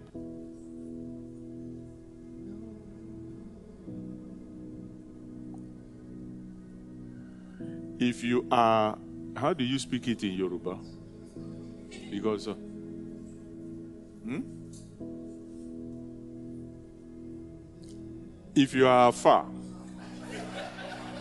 eh? Alufa.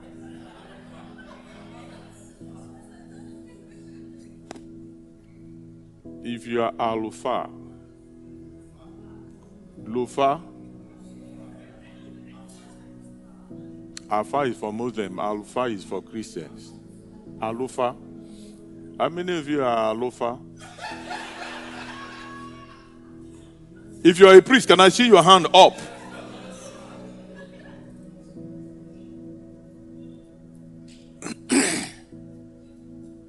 you also as lively stones are built up a spiritual house and holy priesthood. I am a priest, not because I am ordained as a pastor. No. Everybody that is born of God, everybody that is a Christian, is a priest.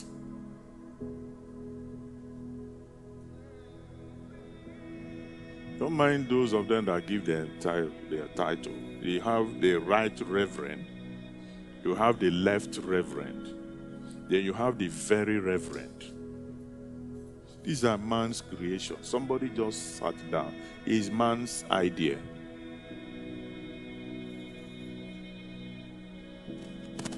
That's why I don't follow anything that doesn't, I don't see reason to it. I will drop it. It's man. Somebody sat down and came up with that idea and began to do it. You want to do wedding on a on your wedding, wedding day. You go and buy wedding gown. Those white thing, the one that is covered the whole of this, and then you you enter inside it. It is man's idea. True or false? Somebody sat down one day and thought of it and then sell it. And then it became a tradition. And I am not obligated to do it. On my wedding day, I might decide to wear my Ankara or wear shorts and whatever. Nothing, there is nothing wrong about it. Nothing, absolutely nothing. I've delivered myself or deliver yourself. if you don't want, that's your business.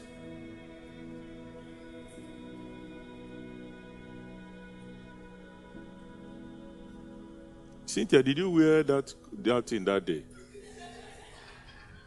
Did you? Okay, yeah, I remember she wore it.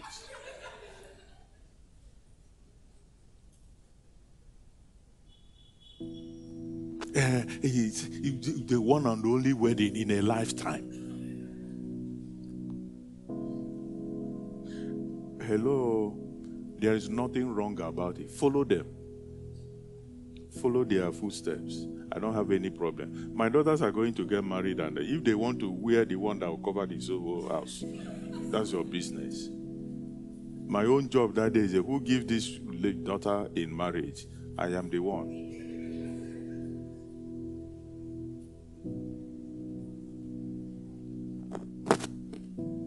I have delivered me that I, I'm delivered. Deliverance is here. Simplicity. When I talk, I say hey, that is Jesus Christ, but you are following him. He said, Look unto him as your author and finisher. After his resurrection, as a resurrected Christ, find out those of them who have encountered Jesus Christ who had, seen visions of Christ. You see the kind of designers wear he wears on his foot, and the kind of designers robe, and with all the jewels and all the makeup and everything. Simple. When you get to heaven, the same way. You see, the higher you go, the simpler you become. But the lower you fall, the more complicated you become. In his simplicity. How many of you have seen Bill Gates? You've seen his. How many of you have seen Bill Gates in the video or films? What type of designer's outfit does he wear? I saw him one day. I saw him on the down the uh, t- television. It was white canvas he was wearing with these jeans that are crazy jeans with t-shirt. One of the richest men in the world. You are not you are not even rich in your family, but the kind of thing you are wearing, nobody will hear your word. You're wearing wig, wig, wig you're wearing is is up to a million naira wig on your head. Is it not? Deliver yourself, oh.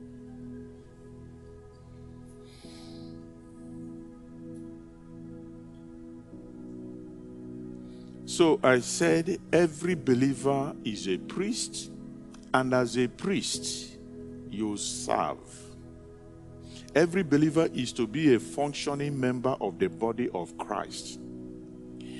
In the New Testament, there is no special class of person called ministers or clergymen or priests. There is no special person. No. No. No. But this is what you have heard all your time, all your life, ever since, even before you got born again.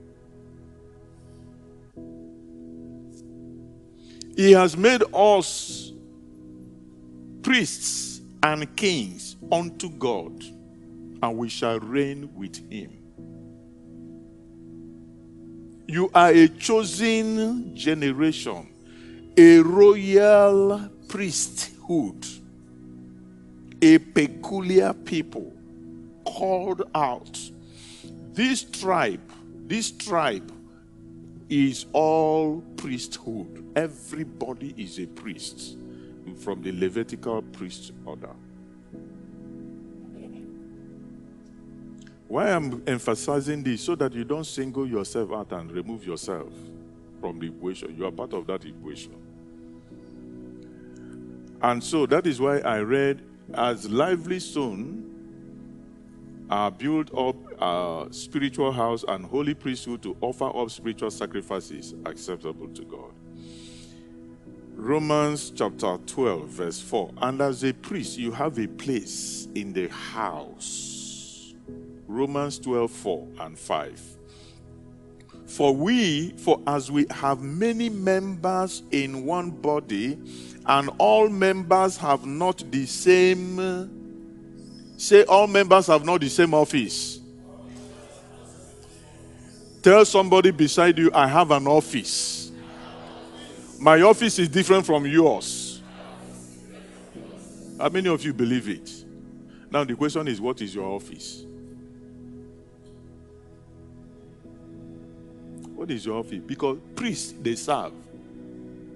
True or false? Priests, they serve. They have office.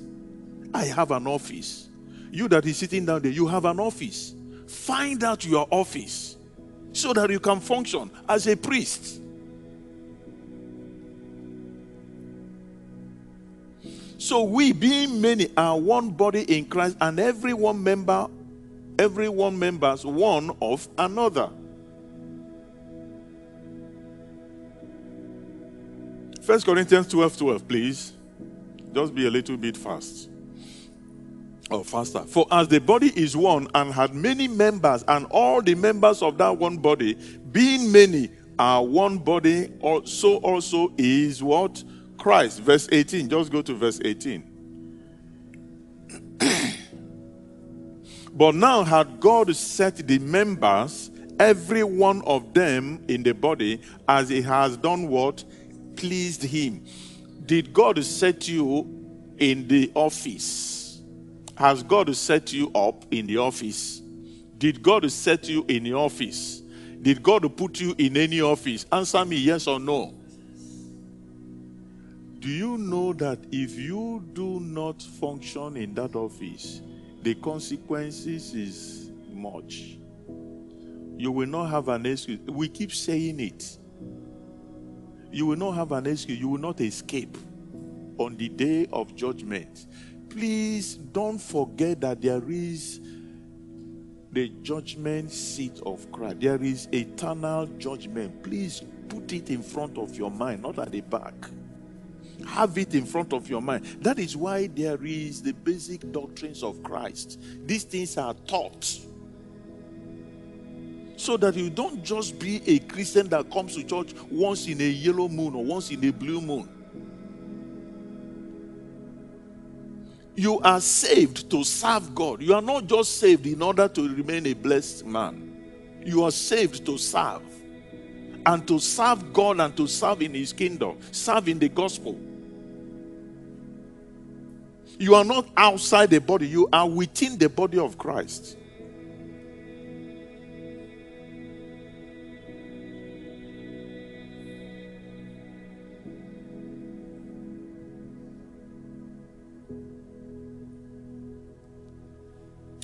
What is the objective of a servant of God? What is primarily in your mind as a servant of God? What is a major focus What is it that preoccupies your mind as a servant? Give me Psalm 123, verse 2. There is only one objective in your mind as a servant that you come to serve God. One thing that is in your mind, one objective. Behold, as the eyes of the servant look unto the hand of their masters, the eyes of the servant looks unto what? The hand of their master. So the master, this is the master, and their eyes are fixed on his hand, what he has to do, what he has to give them, what he has to take from them. They are look. In other words, their eyes are fixed on him. They don't have any other place to look at. They don't have any other person to look at. They are looking unto him. They are at his beck and call. He said, Behold, as the eyes of the servant look unto the hand of, of their master, and as the eyes of a maiden unto the hand of her mistress. You've seen a maiden, somebody who is serving his madam and all of that, is always there. He's, they call it they call it a personal assistant. They call it ADC. They call it whatever it is. You don't. You are not distracted. He is your focus. You are watching him, you are looking up to him. You know, you know when he calls, the meaning of that call or whatever. Even before you can preempt him because you have stayed there, you have looked at him, you have followed him. Any move he makes, you know what it means.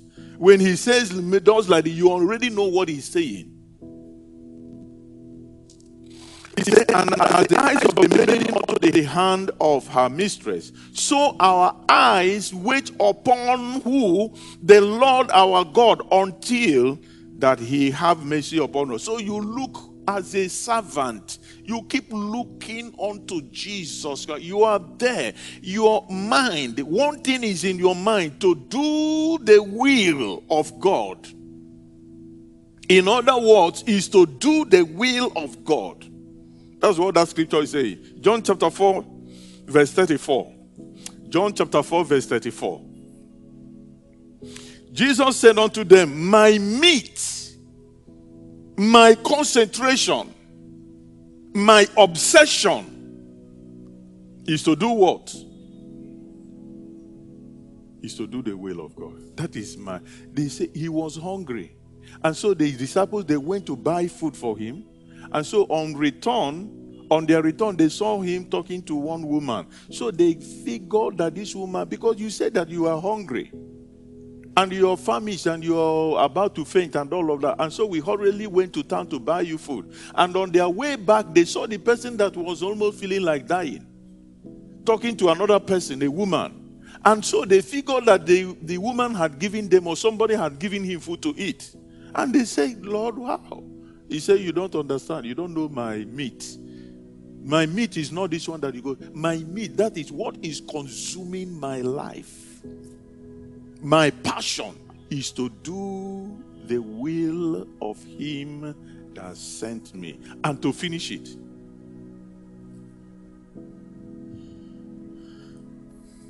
We are talking about Christian service. That's why it is called maturity class. It's not for babies. In other words, you don't have any other will. You don't have any other. Remember, you have laid down your life. You remember, you don't have any other life apart from His. Okay. Number two is that your desire, also your passion, not only to do His will, but to please Him to be a pleaser, not just that you do his will, you do it in a way that pleases him. John 8 29. And he that sent me is with me. The Father had not left me alone, for I do always those things that do what? Please him. Always. What are the things that please God? You do it in a way and manner that pleases Him. If you want to serve Him, you serve Him honorably. Don't give Him half hearted service. Today you are here. The next day, you are not there. They look for you in your duty posts and you are not found there. And you are giving, you are supposed to be looking unto him, gazing at, just like the handmaiden is looking unto her mistress. And so when the mistress now call you, you found out that you have gone to fetch water. You find out that you have gone to the market. You find out that you have gone somewhere else, and uh, you know what he will do to you.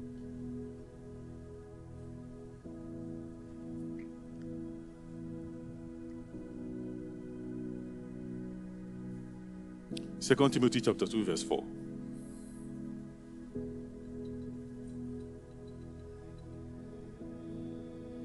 No man that worrieth entangleth himself with the affairs of this life, that he might do what? Entangling yourself with the affairs of this life. Affairs, business affairs, social affairs, community affairs, people affairs. There are so many things.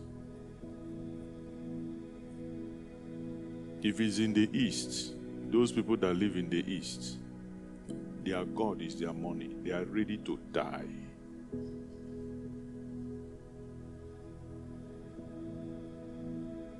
If you come to the west, they will block every road, even express. They will. They are ready to block express.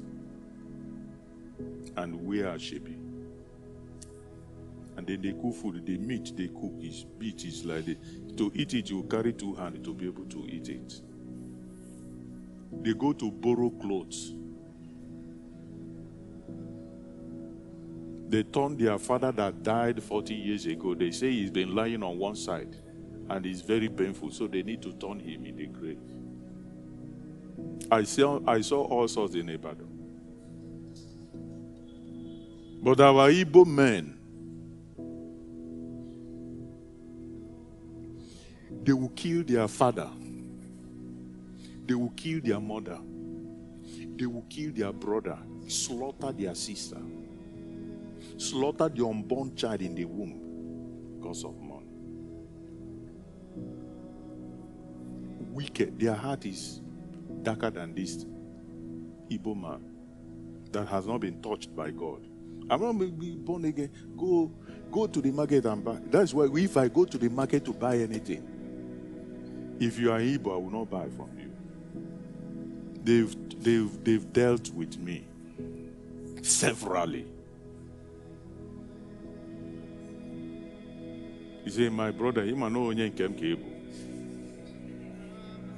My brother, you know you are my people. Onye be anyị ka ịbụ. Ọkwa onye ndịda ka ịbụ. Ọkwara onye ndịda ka ịbụ. That is, uh, uh, is it not from the east you come? We are, brother. You know, you know why he's telling you all this? so that you drop your guards. Then he will sharp, his knife, he has already sharpened it. The moment your money enters his hand, there, while you are looking at him and you change your mind about that, he will not give you that money back. And you can call police, so bring the army. He will not give you that money until you threaten his life. I don't know who's war for us. So every tribe and all of that, they have their own. You go to the north, their own is they don't have parts too.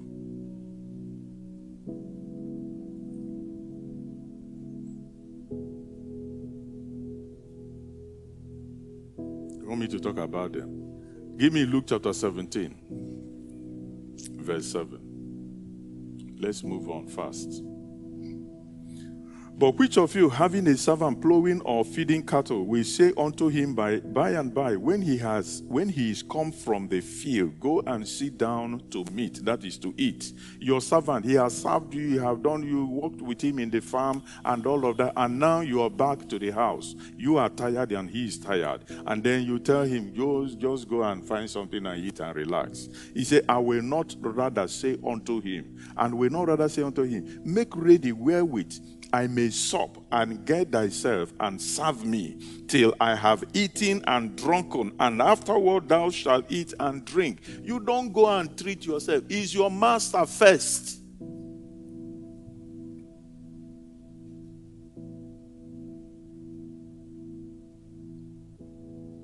You would think that this person is wicked, is he not? You would think that Jesus, he's talking Jesus Christ, he's talking about himself and the relationship to us how we should serve him. He's giving us a, he's painting a picture. You know, when you say, "Ah, I'm so tired, and uh, Pastor, Pastor, eh, can I go, Pastor? Can I go? I say, You can go. Because what? You are tired and fagged out. You are not a servant, you are a hireling. God will not commit weightier matters into your hand.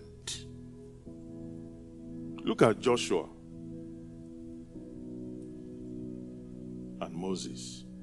Moses went up to the mountain. Joshua stayed at the foot of the mount. For how many days? Joshua was there. He did not take, he didn't leave until his master came down and was through before he left. You know what we do?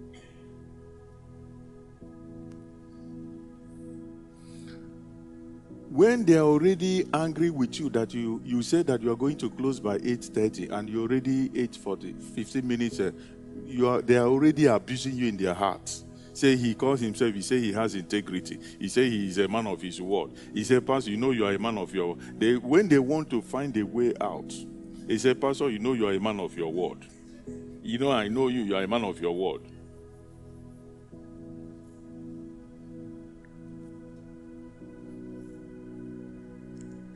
you don't go. I asked them a question. If it is in your office, your boss is still in the office. You're meant to close by five. By six o'clock, your boss is still in the office. Will you go?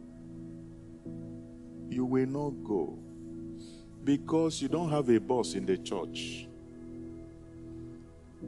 Eh, Pastor, are you also a boss?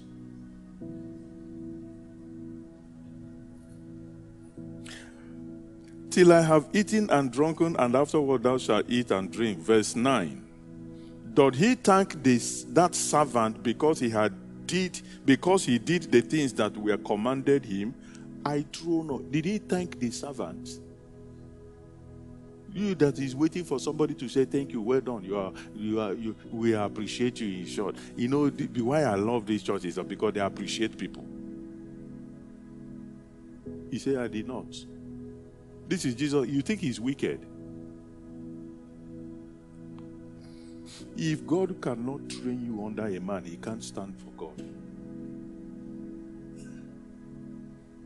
Know, all this thing, you find fault in everything. Find complain, you murmur, you talk, you do.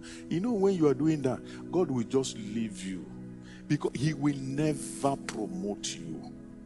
He will never take you to the next. You will remain there. Other people will come, write that same day exam and all of that. They will pass, move on to the next. You will remain there. You, if you promote yourself, I would rather God promote me than man promote me.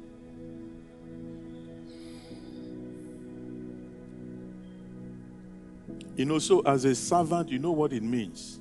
Give me um, 1 Corinthians 6:19. That's the life of a servant. 1 Corinthians 6:19. What know you not that your body is a temple of the Holy Ghost, which is in you, which you have of God, and you are not your own? Verse 20.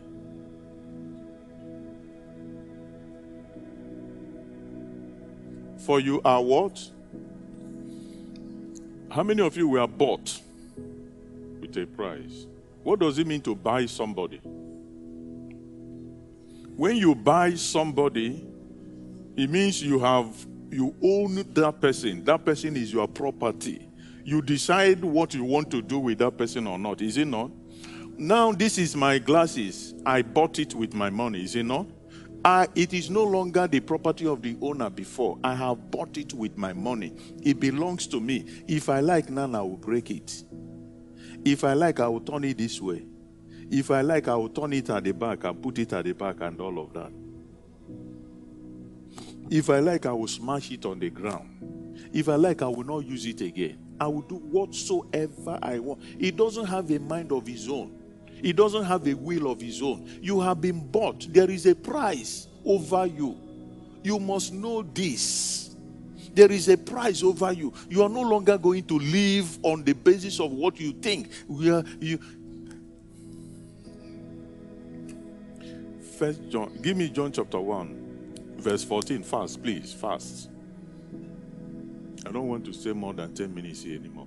And the word of God made flesh and dwelt among us, and beheld his glory as of the Son, the begotten Son of the Father, full of grace and truth. Yes. John bear witness 16 and 17. Give me 12, please. It's not 16. Give me, go to 12. But as many as received him, to them gave he power to become the sons of God, even to them that believe on his name. Yes, verse 13. Which we are born not of the blood, not of blood, nor of the will of the flesh, nor of the will of man, but of God. Not of the will of the flesh, not of the will of man, not of blood of man, but of God. He is one that have begotten you. You bought, he bought you. There is a price. They came, you were a slave. They are going to slaughter you and, and finish with you. And he came on the scene and said, How much is the cost of uh, Uzos, Uzo? How much is his cost? Is the cost, the price over his, he said, his life. He said, Okay. Then he used his son, exchange, and then he brought you. You become his slave. That is why we are slaves of Jesus Christ. But the slave of Christ is a free man. He is not. He, you are not a slave that you don't have. The the you know what you know what David said in Psalm 63? He said his loving kindness is better than life. You see that life you have. His love is better than that your life. If you know the love of God that passeth all knowledge. If we can only yield to that love, yield is in the heart.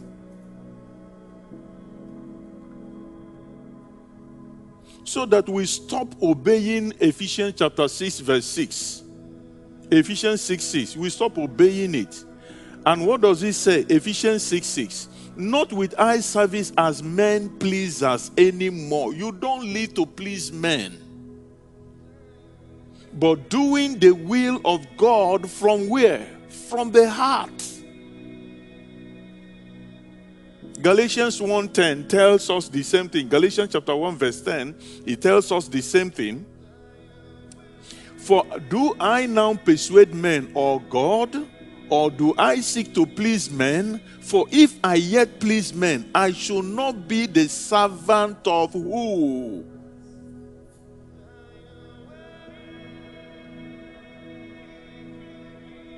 Because my heart is always geared to serving God, finding the will of God and all of that. You stay on the will of God I want to, you will not be man's pleaser.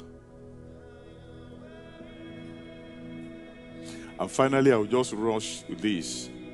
The service, you know, we've been talking about serving God and all of that. What are those? Because the Bible talks about service that are acceptable. Hebrew chapter 12, verse 28 tells us. Hebrew chapter 12, verse 28 tells us about acceptable service. Wherefore, we, receiving a kingdom which cannot be moved, let us have grace whereby we may serve God what? Acceptably. There is acceptable service. There are services that are not acceptable, my brothers. And you need to find out what they are. What are those services that you can render to God that are acceptable that, so that God will say, Well done, good and faithful servant. Come into the joy of the Lord. So that God will bless you here and bless you in the life to come. And what are those acceptable services? Number one, you offer your body as a living sacrifice. Romans chapter 12. Your body as a living sacrifice I beseech you, brethren, by the mercies of God, that you present your bodies a living sacrifice, holy unto God, holy acceptable unto God, which is your reasonable service. You must live a holy life. You must be holy in your heart. You must be holy on your body.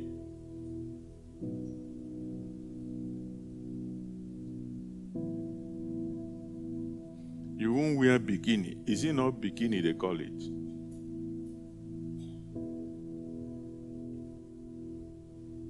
You won't dress all those funny, useless dressing. You don't wear them. You must keep your body clean. The Bible tells us we need to know how to hold our vessel in sanctification. There are things you do not do. There are places you don't go. There are things you don't watch. There are things you don't listen to. Come out from among them and be ye separate.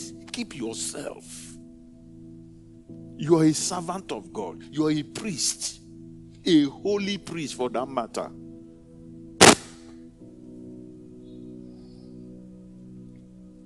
Number two, give me Malachi chapter 2, verse 7, please, fast. A priest must be holy in his conduct or in her conduct. For the priest, the priest's lips should keep what? Knowledge, and they should seek the law at his mouth, for he is the messenger of the Lord of hosts that you are a servant of God, you must fill yourself with the knowledge of God. You must be taught. People must come to you and they will want to hear the word of God from your mouth. Not you, not being able to divide the word of God. You must be rich in the word of God as a priest, as a servant. Because before you serve God, you have to know His mind. And you find the mind of God, the will of God, and all of that from His word. You can't just afford to be novice.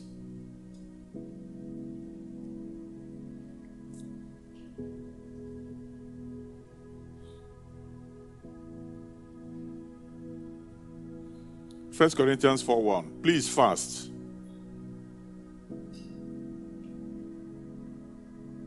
Let a man so account of us as the ministers of Christ and steward of the mysteries of God. There is a mystery. Oracle of God was committed into your hand. You are the one that is guarding it. The word, the message. You have to protect that message.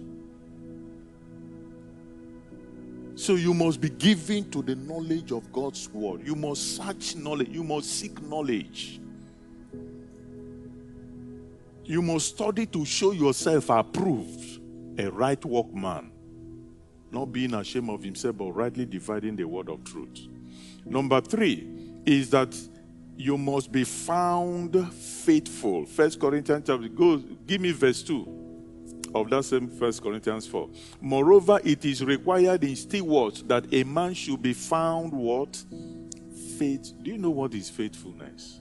You know what it means to be faithful?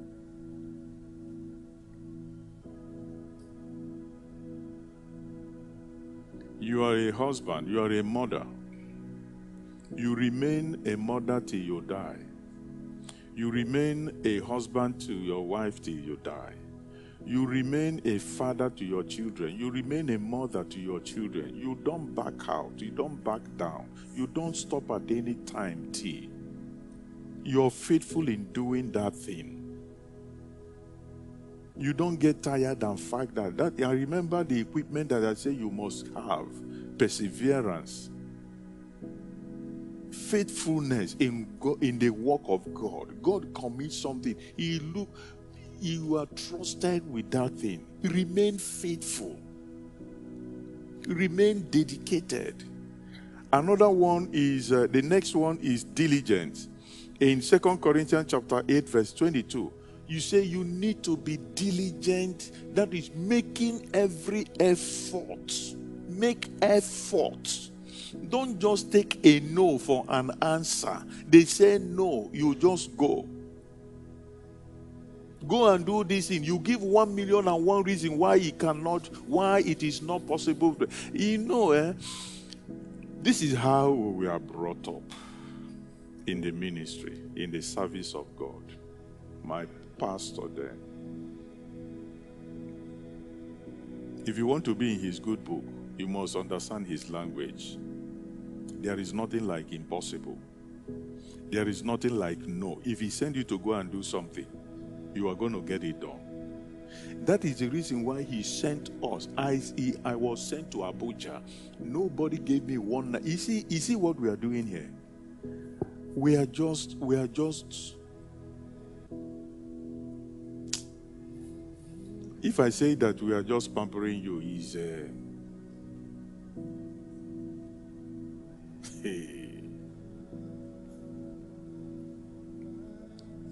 Hello. Hello. You can be saying anything you are saying in your heart. When we came here to start Oak House Church, no kobo, no money, no help, nobody, nothing. From nowhere. It was because of the training. Who is benefiting now? But if I had started sulking and abusing and complaining and even leave the ministry, then would I be here today? The answer is no. You have not taken time to go. You know, when I think about a quarter, it's a mystery to me till today. If you see how that place was, is a dustbin. Not just that, it's a swamp. The dustbin is the height of dustbin is like the height of this building. Up to two or two and a half plots. The depth, the they say the guy was telling us if he put a electric pole, it will swallow it. That's where we went to and started feeling how many millions.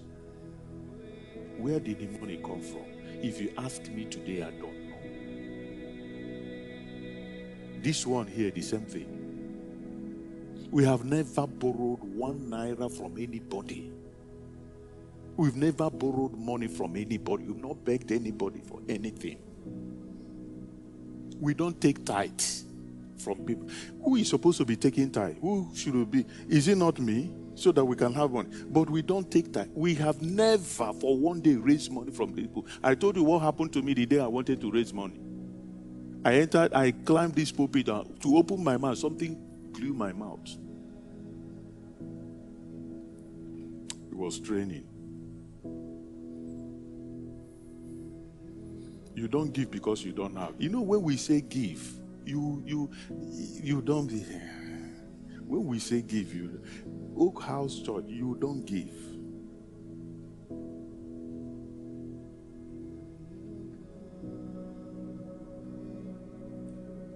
When we give, you think we are asking you to give so that we will be. You have not been giving, I have been living. Many of you have never for one day bring out, even if it is 500 naira, and say, Pastor, I want to give you this money. Many here have never done that.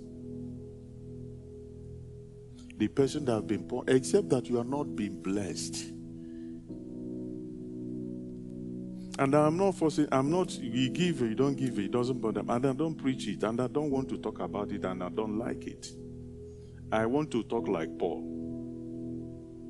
I have coveted no man's wealth or money. As a matter of fact, I worked with my own hand so that nobody will put any whatever on me and say, if not because of. You see, Abraham, Yes, Abraham said, I will not take nothing from you. All that I need you to do. You see, these men that went to you, went to war with you, settle them. Don't I won't even even if it's a lash from there, I can't take.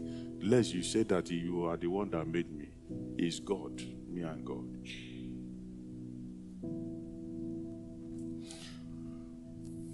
So I said, offer your body a living sacrifice. You have to go for the knowledge of God. You have to remain faithful in service. You have to be diligent in service, according to 2 Corinthians 8:22 that we read.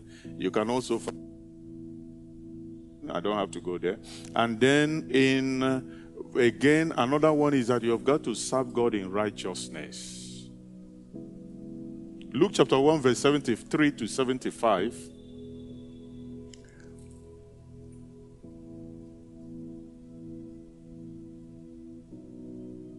The oath which he swore to our fathers Abraham, that he will grant us unto us that we, being delivered out of our, the hand of our enemies, might serve him without fear. In verse 75, in holiness and righteousness before him all the days of our lives. You serve God in righteousness. For the kingdom of God is not in meat and drink, but in righteousness, peace, joy in the Holy Ghost. Another way is peace and then joy peace. You remember if you go to give anything to someone and you find out that there is a problem between you and the person, go settle. God is interested in peace. If you don't make peace with that person, forget about whatever it is that you are offering. Because if you offer that thing, it is not acceptable. God will not bless you, God will not honor you. The people that you are serving and all of that could get blessed, but you, you have no record. So there, these are the, what is called acceptable service to God. And those acceptable service, there are seven of them. I said the, the last one is joy in the Holy Ghost. The joy of the Lord is your strength. You are serving God not with a grown face, what not with um, uh, uh, you configure your face and disfigure your face and you are frowning and you are doing it out of compulsion as if uh, you know there is no joy in the God doesn't accept any of such things. You must be happy and full of joy. Keep doing that. Being full of joy, serving God. Be excited you are serving God. It's a privilege that is very few given to people.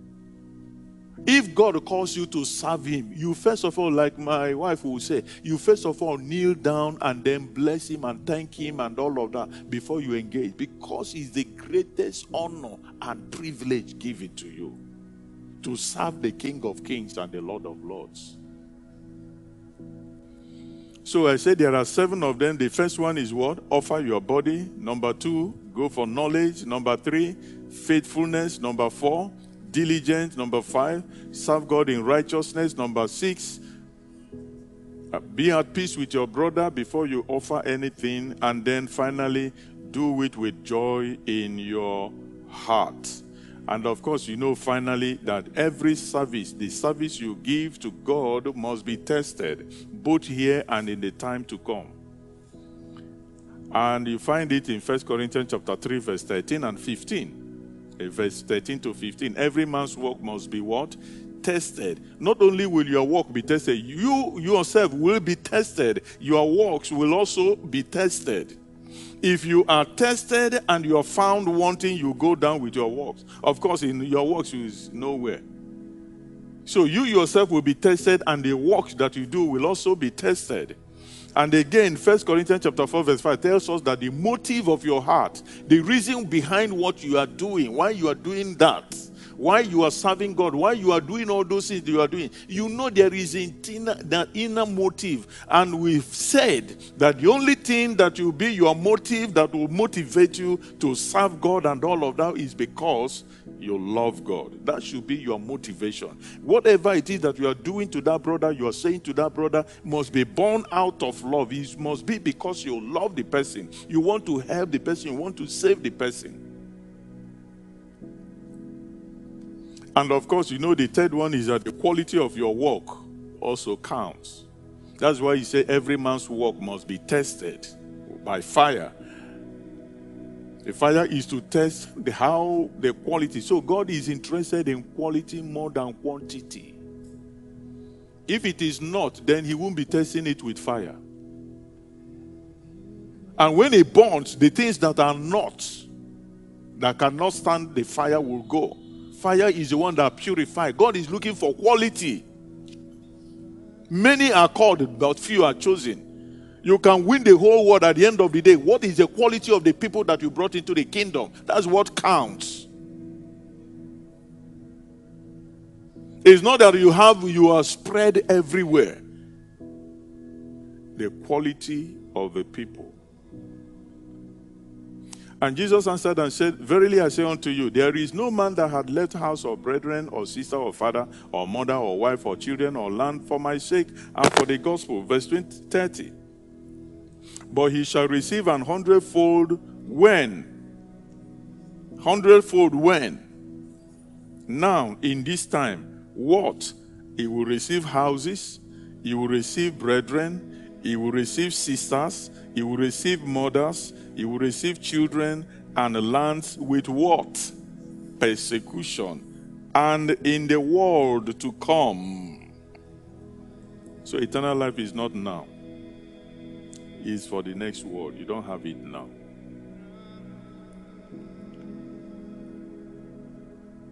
So when you say you will receive hundredfold now in this life, houses. Houses is in which way? Sometimes physical houses, somebody people give you house.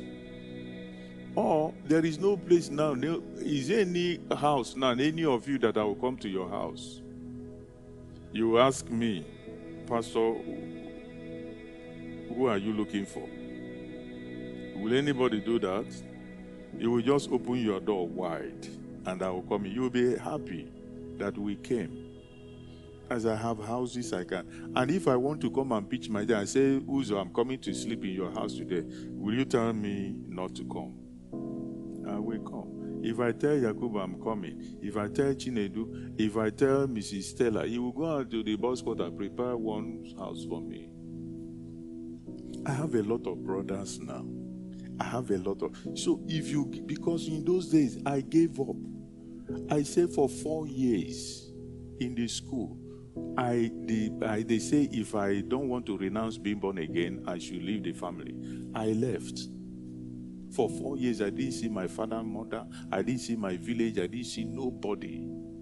If they finish school, I will go to another person's house and stay. From there, I will go back to school. For four years, I didn't nobody. I didn't hear from anybody. Because they sent me to go. It was my mom that now mother's heart. He started looking for me. He was sending messages saying I should come. So one day, because I have a church heart, I now decided to go home. But today, I have so many brothers, I have so many sisters, I have so many mothers, I have so many children everywhere, all over. That's what the same thing to you. The same thing applies to you. True or false? But if you are, you see, you see my cousin, my my my my father, my this and my dad, and all of those things, it doesn't have. If you hold on to them, you won't have this. Amen.